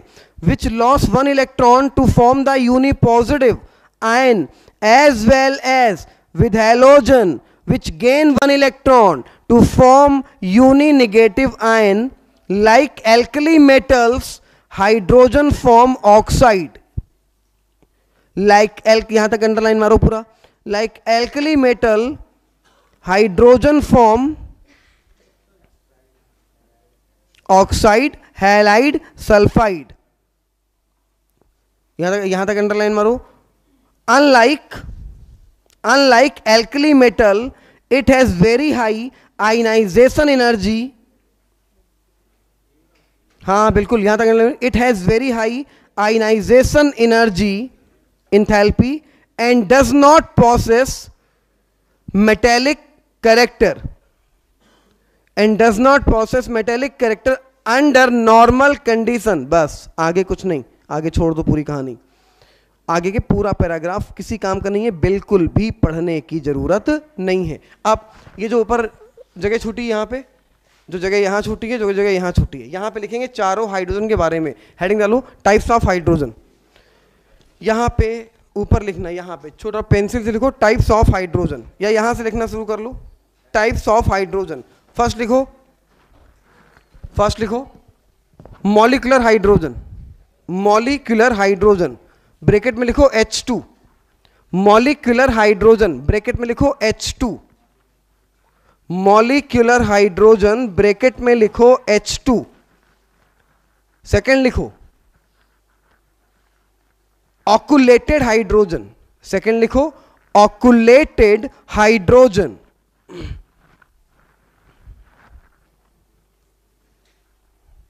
Occluded hydrogen.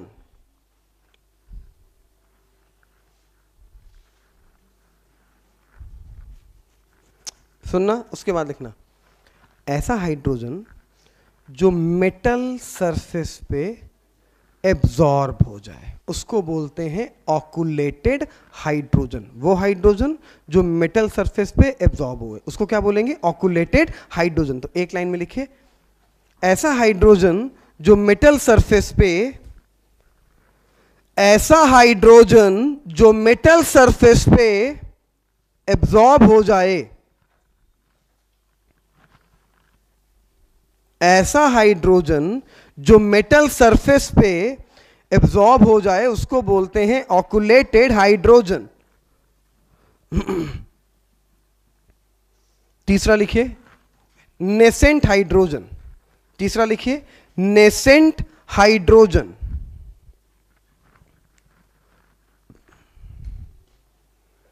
एक लाइन लिखो। Newly born hydrogen nascent hydrogen सिर्फ़ एक line. Newly born hydrogen is known as the nascent hydrogen चौथा और आखिरी एटॉमिक हाइड्रोजन चौथा और आखिरी atomic hydrogen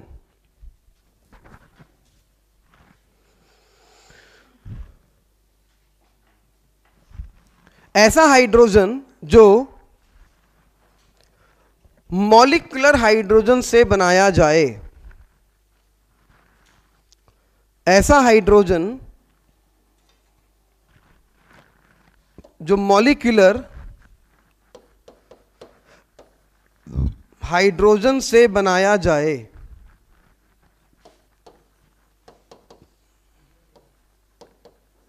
At the high temperature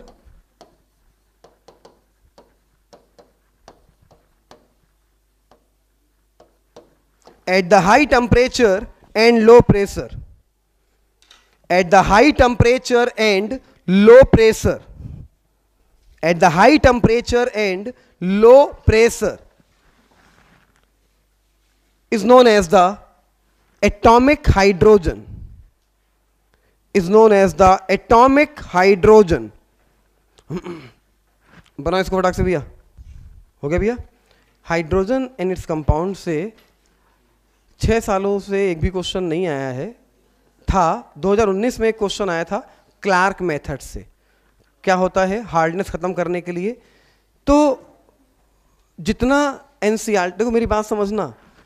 organic में कॉन्सेप्ट बन सकते हैं। फ़िज़िकल में कॉन्सेप्ट बन सकते हैं। तुम बोलोगे, यार ऑर्निक एन से नहीं पढ़ाई? अबे ऑर्निक में कॉन्सेप्ट बहुत अच्छे अच्छे बन सकते हैं। इतना लिखा है एन में। हम तुम्हें इतना ज़्यादा पढ़ा देते हैं। क्यों? क्योंकि वहाँ कॉन्सेप्ट बन सकते हैं। इनऑर्गेनिक में जो लिखा है, वो फैक्ट है वो याद करना है, सीधे पूछा जाएगा। कौन सा कौन सा inorganic periodic properties chemical bonding coordination नहीं, बाकी S block hydrogen P block D block तो ये जितना एनसीईआरटी में लिखा है, उतना ही रटना। इसकी कंप्रेंसिव बुक देखने की कोशिश मत करना कि अगर तुमने प्रदीप देखी, दिनेश देखी, कोई और बुक देखी, उसमें बहुत ज़्यादा तुम्हें कंटेंट मिलेगा। तुम्हें लगेगा, यार, इसमें तो इतना ज़्यादा है। हमें सिर्फ़ एन e जितना लिखा है, उतना ही आएगा। उठा के क्वेश्चन लगा लेना नीट के। एक भी क्वेश्चन एन e के बाहर नहीं जाएगा। ऑर्गेनिक फ़िज़िकल में कॉन्सेप्ट घुमा सकता है, यहाँ पे घुमा नहीं सकता है। सीधा लिखा है, सीधा रटना है, सीधा आना है। कि साहब एम्फोट्रिक मेटल कौन है? पता है साहब ये होते तो हैं, ठीक है? हाइड्रोन को कैसे प्रिपेयर करते हैं, कितने टाइप के होते हैं, कौन सा रिएक्टिव होता है? चलो, अगला पॉइंट लिखो। रिएक्टिविटी ऑर्डर अगला पॉइंट लिखो। रिएक्टिविटी ऑर्डर सबसे रिएक्टिव कौन? Atomic nascent occluded molecular order लिखो रिएक्टिविटी ऑर्डर सबसे रिएक्टिव कौन? एटॉमिक एटॉमिक के बाद नेसेंट नेसेंट के बाद ऑकुलेटेड ऑकुलेटेड के बाद मॉलिक्यूलर सबसे रिएक्टिव कौन होगा? एटॉमिक एटॉमिक के बाद नेसेंट नेसेंट के बाद ऑकुलेटेड सबसे कम रिएक्टिव कौन होगा? Molecular hydrogen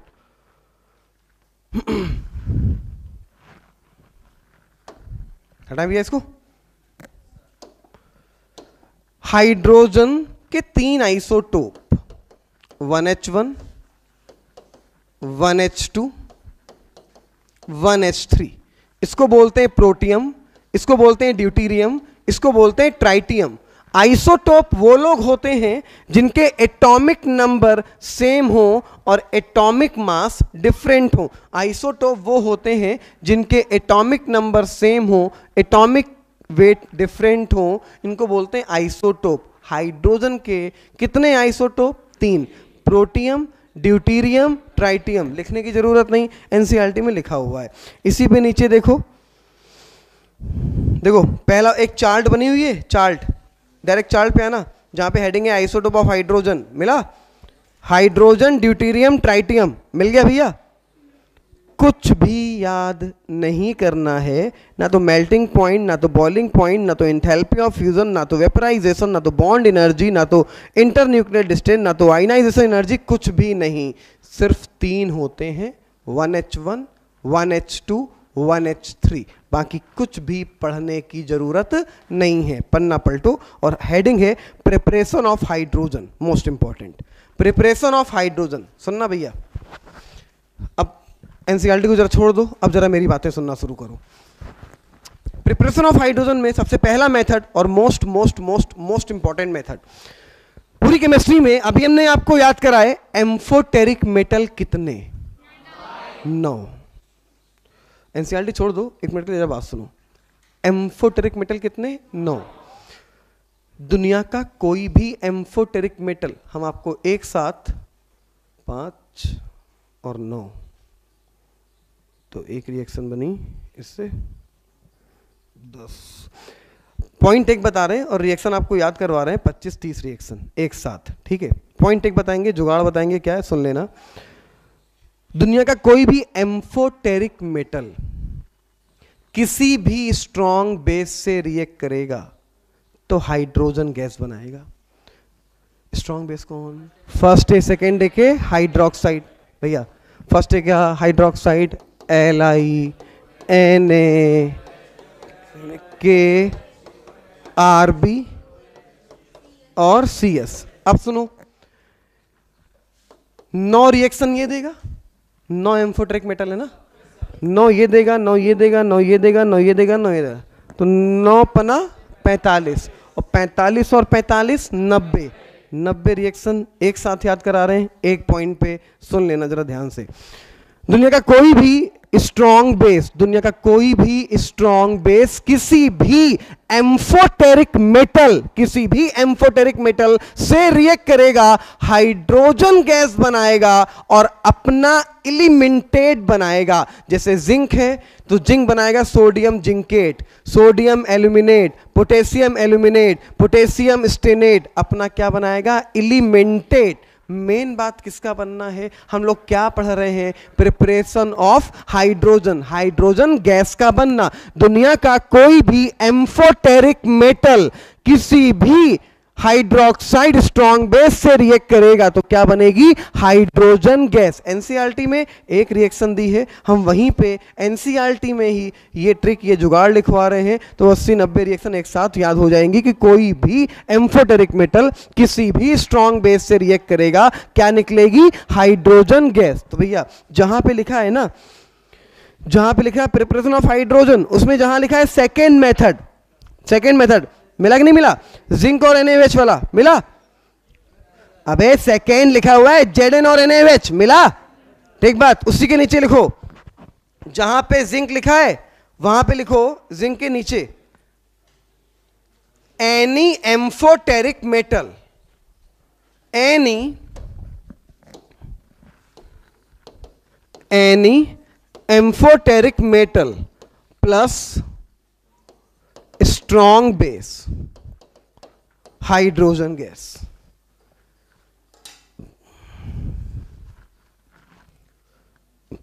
any amphoteric metal any amphoteric metal plus strong base क्या बनेगी? Hydrogen gas plus elementate plus elementate elementate लिख लिया भैया। अब इसी के नीचे जिंक वाला एग्ज़ाम्पल तो लिखा ही हुआ है। तो एक एग्ज़ाम्पल वो जहाँ पे जिंक प्लस एन लिखा है ना तो इसको एग्ज़ाम्पल नंबर वन कर लो। इसका example number one Z N plus N वाला। Example number one example number two example number two देखो। एस एन प्लस एन चलो एन नहीं लेते हैं यार। ऊपर वाले में एन है ना? तो यहाँ क्या ले लें? के ले लेते हैं। तो क्या बनाएगा? हाइड्रोजन प्लस एन टू की जगह के टू जेड एन की जगह एस एन और क्या?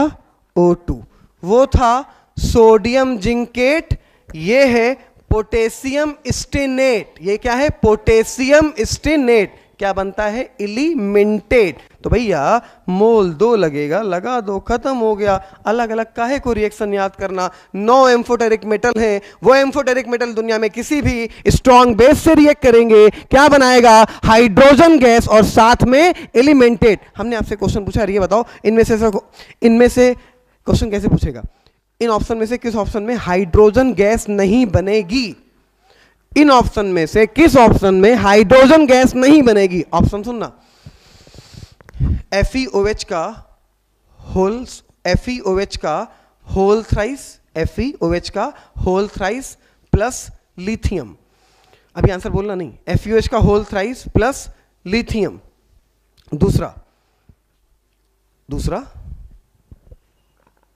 Boron plus boron plus K ओ H boron plus K O H तीसरा option beryllium plus C S O H beryllium plus C S O H चौथा option lead plus magnesium hydroxide अब बताओ sir पहला वाला। बाकी तो फंड कहाँ बनेगी? जब स्ट्रॉन्ग बेस एम्फोटेरिक मेटल से मिलेगा तो बनेगी, वरना नहीं बनेगी। याद रहेगा ना भैया? स्ट्रॉन्ग बेस कौन कौन? फ़र्स्ट है सेकेंड डे के हाइड्रोक्साइड एम्फोटेरिक मेटल कितने? नौ। और सारे के सारे अभी इसके पहले वाले चैप्टर में हमने आपको याद कराए हैं। एम्फोटेरिक मेटल यहाँ पे एनसीईआरटी के ऊपर भी लिख लो, वही नौ। यहीं पे लिखो फटाफट, जहाँ पे आपने लिखा है, उसी के ऊपर लिख लो एम्फोटेरिक मेटल कौन से? नौ, फिर से लिख लो एक बार यहाँ पे भी। एनसीईआरटी के ऊपर भी लिख लो एम्फोटेरिक मेटल दोबारा, फटाफट। A L A S B B P B S B S I S N और जेड एन ठीक है?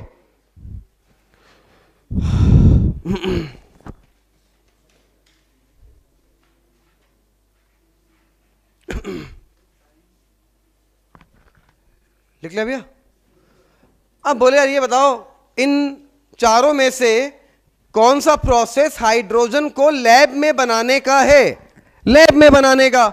बोला Z N plus K O H hydrogen तो बनेगी। Z N plus K O H hydrogen बनेगी। दूसरा method zinc plus N H यहाँ भी बनेगी हाइड्रोजन तीसरा Z N plus dilute S C L यहाँ भी बनेगी। अब ये मेथड हो जाएगा लैब मेथड भैया लैब में अगर आपको बनानी हो, इसी के ऊपर लेबोरेटरी प्रिपरेशन पढ़ा हुआ है? क्या, कैसे बनाते हैं? जिंक लो जिंक के छोटे छोटे पीस या डस्ट लो? अंग्रेज़ी में उसको ग्रेनुलेटेड जिंक बोलते हैं, वो उसमें एनसीआरटी में लिखा हुआ है। क्यों? ऐसा क्यों करते हैं? केमिकल काइनेटिक्स याद करना rate of reaction directly proportional to surface area याद करना। तो जब जिंक मेटलिक फॉर्म में होगा एरिया कम होगा, जब उसको पीसेस में कर लोगे एरिया बढ़ जाएगा रेट ऑफ़ रिएक्शन बढ़ जाएगी। क्लियर तो इसलिए इस वजह से ग्रेनेटेड जिंक लेते हैं, जिससे सरफेस एरिया थोड़ा सा बढ़ जाए। जिंक को रिएक्ट कराते हैं डायल्यूट HCl से। किससे? डायल्यूट एच सी एल से। हाइड्रोजन अलग Z N C L two अलग। और ये होता है लैब मेथड कुछ ऐसा। लिखना विकना नहीं। एनसीईआरटी में लिखा हुआ है, बस देख लेना। Zinc plus S C L S C L कैसा? डायल्यूट क्या बनेगा?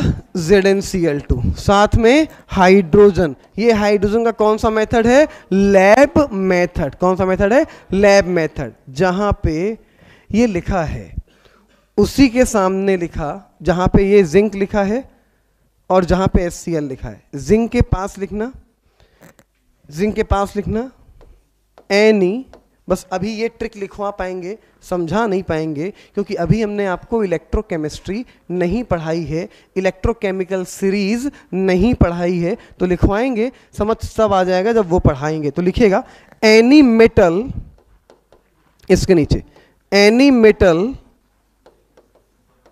that is present above then hydrogen in ECS plus strong acid plus strong acid दुनिया का कोई भी मेटल जो हम याद करवाएँगे इलेक्ट्रोकेमिकल सीरीज़ जब इलेक्ट्रोकेमिस्ट्री पढ़ाएँगे, थोड़ी सी अभी याद कराएँगे तो अभी का मतलब जब तीसरा मेथड अभी बनाएँगे तो नौ एलिमेंट शुरू के याद करवाएँगे, वो अभी याद करवाएँगे। क्यों? वो अभी आपको दिखाते हैं। मतलब वन फोर्थ अभी याद कराएँगे, बाकी इलेक्ट्रोकेमिस्ट्री में याद कराएँगे। रूल क्या है?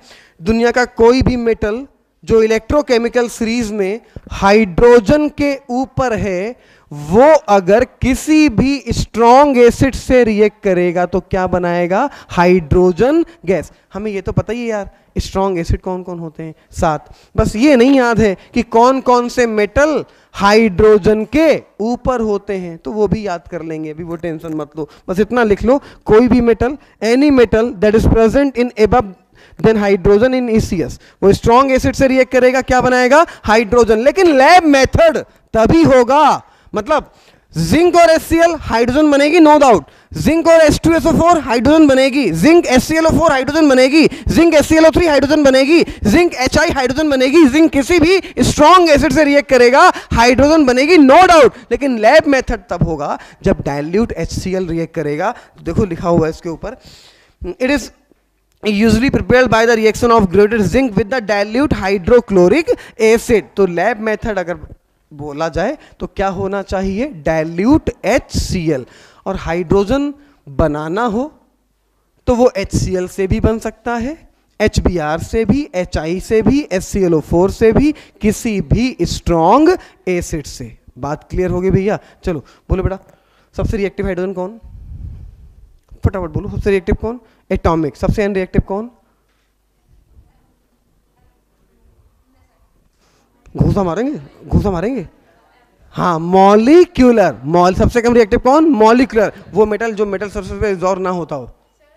वो मेट वो हाइड्रोजन जो मेटल सरफेस पे एब्जॉर्ब ना होता हो।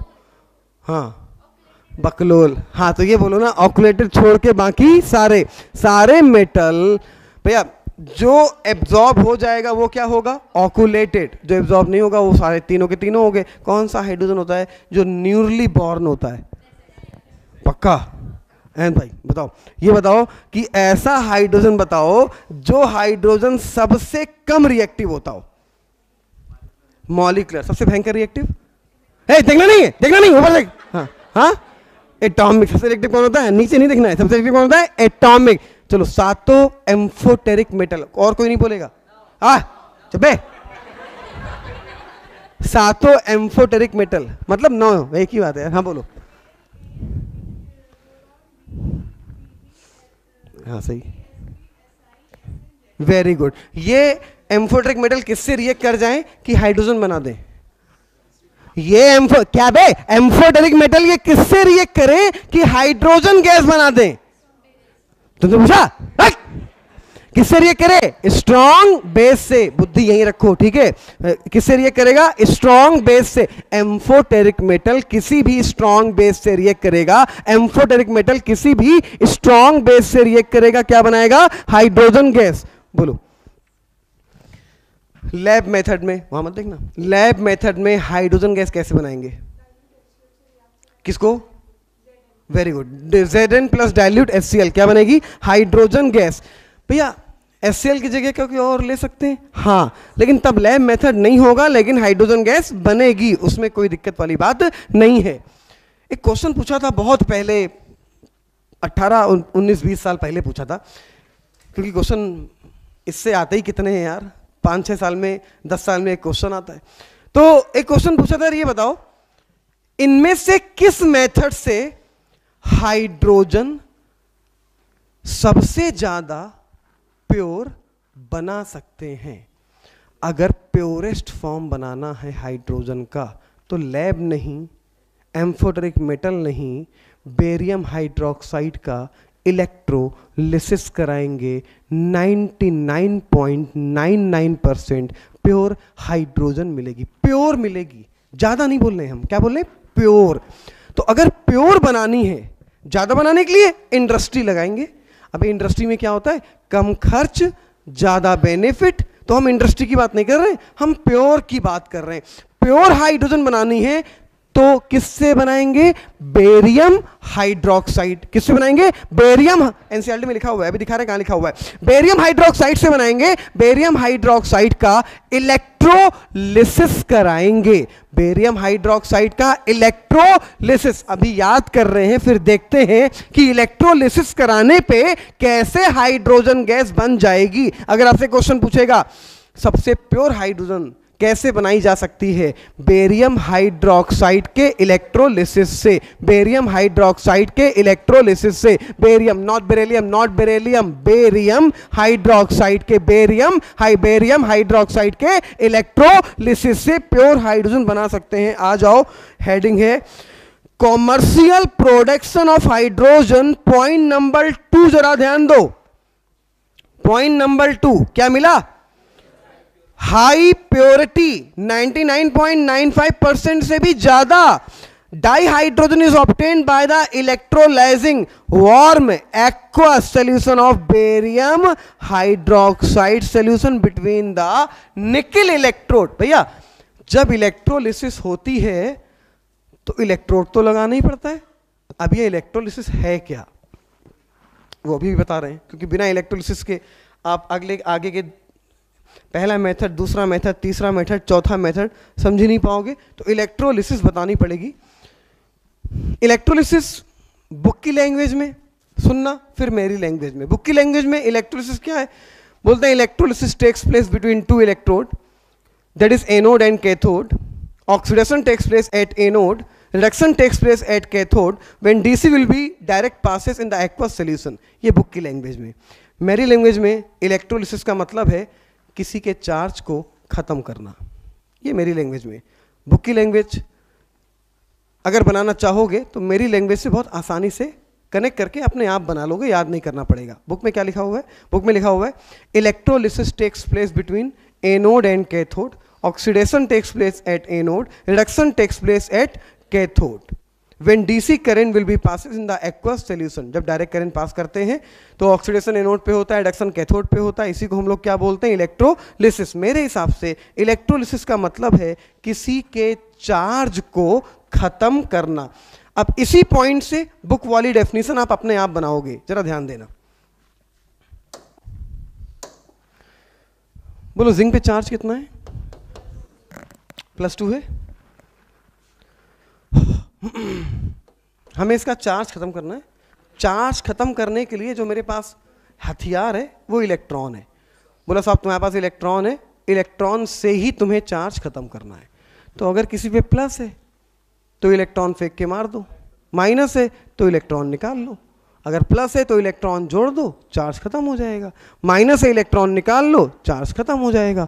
कितना प्लस है? दो। दो इलेक्ट्रॉन जोड़ दो। दो माइनस दो प्लस को खा गया चार्ज हो गया खत्म। चार्ज कितना? Plus two. चार्ज कितना? प्लस टू से ज़ीरो। याद दिलाओ। रिडक्शन। आगे आगे। एक्चुअल में ये था Z N C L two, और जब ये आइनाइज हुआ था, सो जेड एन प्लस टू बना था, और टू सी एल माइनस। तो अब ये है माइनस। अब क्या किया? इलेक्ट्रॉन निकाल लिया तो क्या बन गया? सी एल टू यहाँ पे चार्ज माइनस में था, यहाँ पे ज़ीरो। माइनस से ज़ीरो बढ़ा या घटा, बढ़ा। बढ़ने का मतलब? अब सुनना, एक सिंपल सी बात। आप लोग बाहर से आते हो कहीं से लखनऊ से, कोई गोरखपुर से, कोई मलियाबाद से। कोई कहीं से बाहर से अपना काका दो में आए हैं। जब बाहर होते हो तो लैंग्वेज बड़ी अच्छी होती है, अपने घर की लैंग्वेज कानपुर की लैंग्वेज बहुत ज़्यादा ख़राब है, ठीक है? आप भी जानते होगे। तो जब बाहर से नए नए आते हो काका दो में तो अपने दोस्त यार को बुलाते हो, एकदम तहजीब से, भाई जी, एक मिनट, ये काम है? मतलब प्यार से एकदम। जब कानपुर में छः सात महीने रह लेते हो तो दोस्त को बुलाना और बोलो, ओए, इधर इधर ओए, ओ का मतलब ऑक्सीडेशन, ए का मतलब एनोड ओ ए क्या बोलते हो? ओए, इधर आओ। ओए ओ ए ओ का मतलब क्या? ऑक्सीडेशन ए का मतलब एनोड ऑक्सीडेशन हाँ लिख लो। तुम कुछ छोड़ना मत। तुम कुछ छोड़ना मत। हम जो बोलते हैं क्लास में ना, पंद्रह साल बाद, वो भी लिख लिया करो। वो भी लिख लिया करो तुम बकलोल। हाँ अभी समझ लो बेटा, अभी लिख लेना, परेशान मत हो। हाँ ध्यान देना जरा। ऑक्सीडेशन हमेशा कहाँ पे होगा? ए नोट पे। तो बच्चा क्या? रिडक्शन। वो कहाँ पे होगा? कैथोड पे। दुनिया के किसी भी सेल में, दुनिया की किसी भी रिएक्शन में, ये यूनिवर्सल ट्रूथ है, ये कभी गलत नहीं होता है। ऑक्सीडेशन कहाँ पे होता है? एनोड। याद रखो, O, A. O O, A. Oxidation, anode, reduction, cathode. Oxidation हुआ, एनोड पे, रिडक्शन हुआ, कैथोड। हमने अपनी डेफिनेशन आपको बताई कि किसी के चार्ज को खत्म करने को क्या कहते हैं? इलेक्ट्रोलिसिस हमने अपनी डेफिनेशन के अकॉर्डिंग काम कर दिया। अब बुक वाली डेफिनेशन सुनना। Oxidation takes place between two electrode that is anode and cathode oxidation takes place at anode and reduction takes place at cathode खत्म तो हो गई यार। तो जब चार्ज खत्म करोगे तो अपने आप डेफिनेशन अपने आप में दिखने लगेगी, क्या है? किसी के चार्ज को खत्म करने को इलेक्ट्रोलिसिस कहते हैं। जब चार्ज खत्म कर लोगे तो अपने आप ऑक्सीडेशन एनोड पे होगा रिडक्शन कैथोड पे होगा। इसी को हम लोग क्या बोलेंगे? इलेक्ट्रोलिसिस बताओ। तो बताओ। प्योरेस्ट फॉर्म ऑफ़ हाइड्रोजन किसके इलेक्ट्रो आवाज़ नहीं, किसके इलेक्ट्रोलिसिस बनाएँगे? बेरियम हाइड्रो कौन सा इलेक्ट्रोड लगाएँगे? कौन सा इलेक्ट्रोड निकिल। कौन सा इलेक्ट्रोड लगाएँगे? निकिल। कौन सा electrode nickel. Barium hydro purest hydrogen बनानी। कौन सी बनानी है? प्योरेस्ट हाइड्रोजन कौन सी बनानी है? प्योरेस्ट हाइड्रोजन कौन सी बनानी है? प्योरेस्ट हाइड्रोजन किससे बनाएँगे? बेरियम हाइड्रोक्साइड के इलेक्ट्रोलिसिस से। बेरियम हाइड्रोक्साइड के इलेक्ट्रोलिसिस से। कौन सा इलेक्ट्रोड लगा के? निकिल इलेक्ट्रोड लगा के। अब एक काम करो जहाँ पे हेडिंग है इलेक्ट्रोलिसिस ऊपर जगह है ना अपने पास? हाँ ऊपर लिखो। यहाँ पे लिखो ऊपर। यहाँ पे। Electrolysis electrolysis takes place between two electrode electrolysis takes place between two electrode that is anode and cathode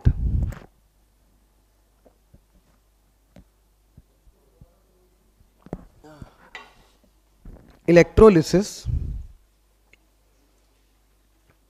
takes place between two electrode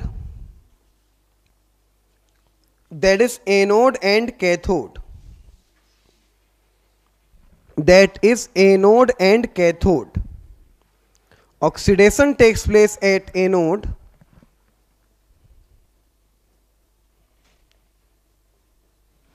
oxidation takes place at anode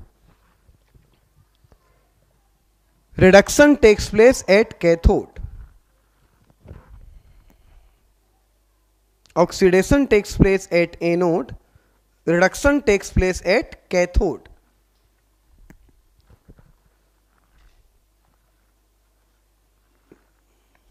लिखा भैया और करके लिखो, और। तुम खाली क्यों बैठे बेटा? तुम इसमें लिखो। पेंसिल से लिखो। पेंसिल लिखना। तो पेंसिल लिखो। और किसी आयन के चार्ज को खत्म करने को इलेक्ट्रोलिसिस कहते हैं। और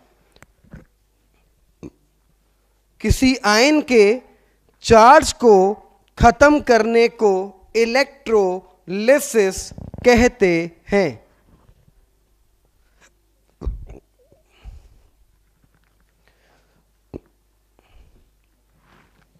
देख लिया भैया?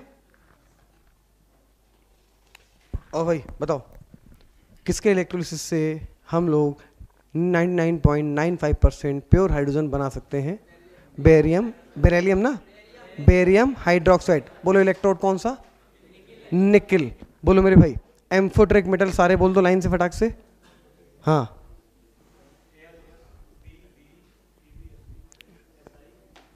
एस एन जेड एन तुम बोलो, इन मेटल को किससे रिएक्ट कराएँ कि हाइड्रोजन गैस बन जाए? हाँ?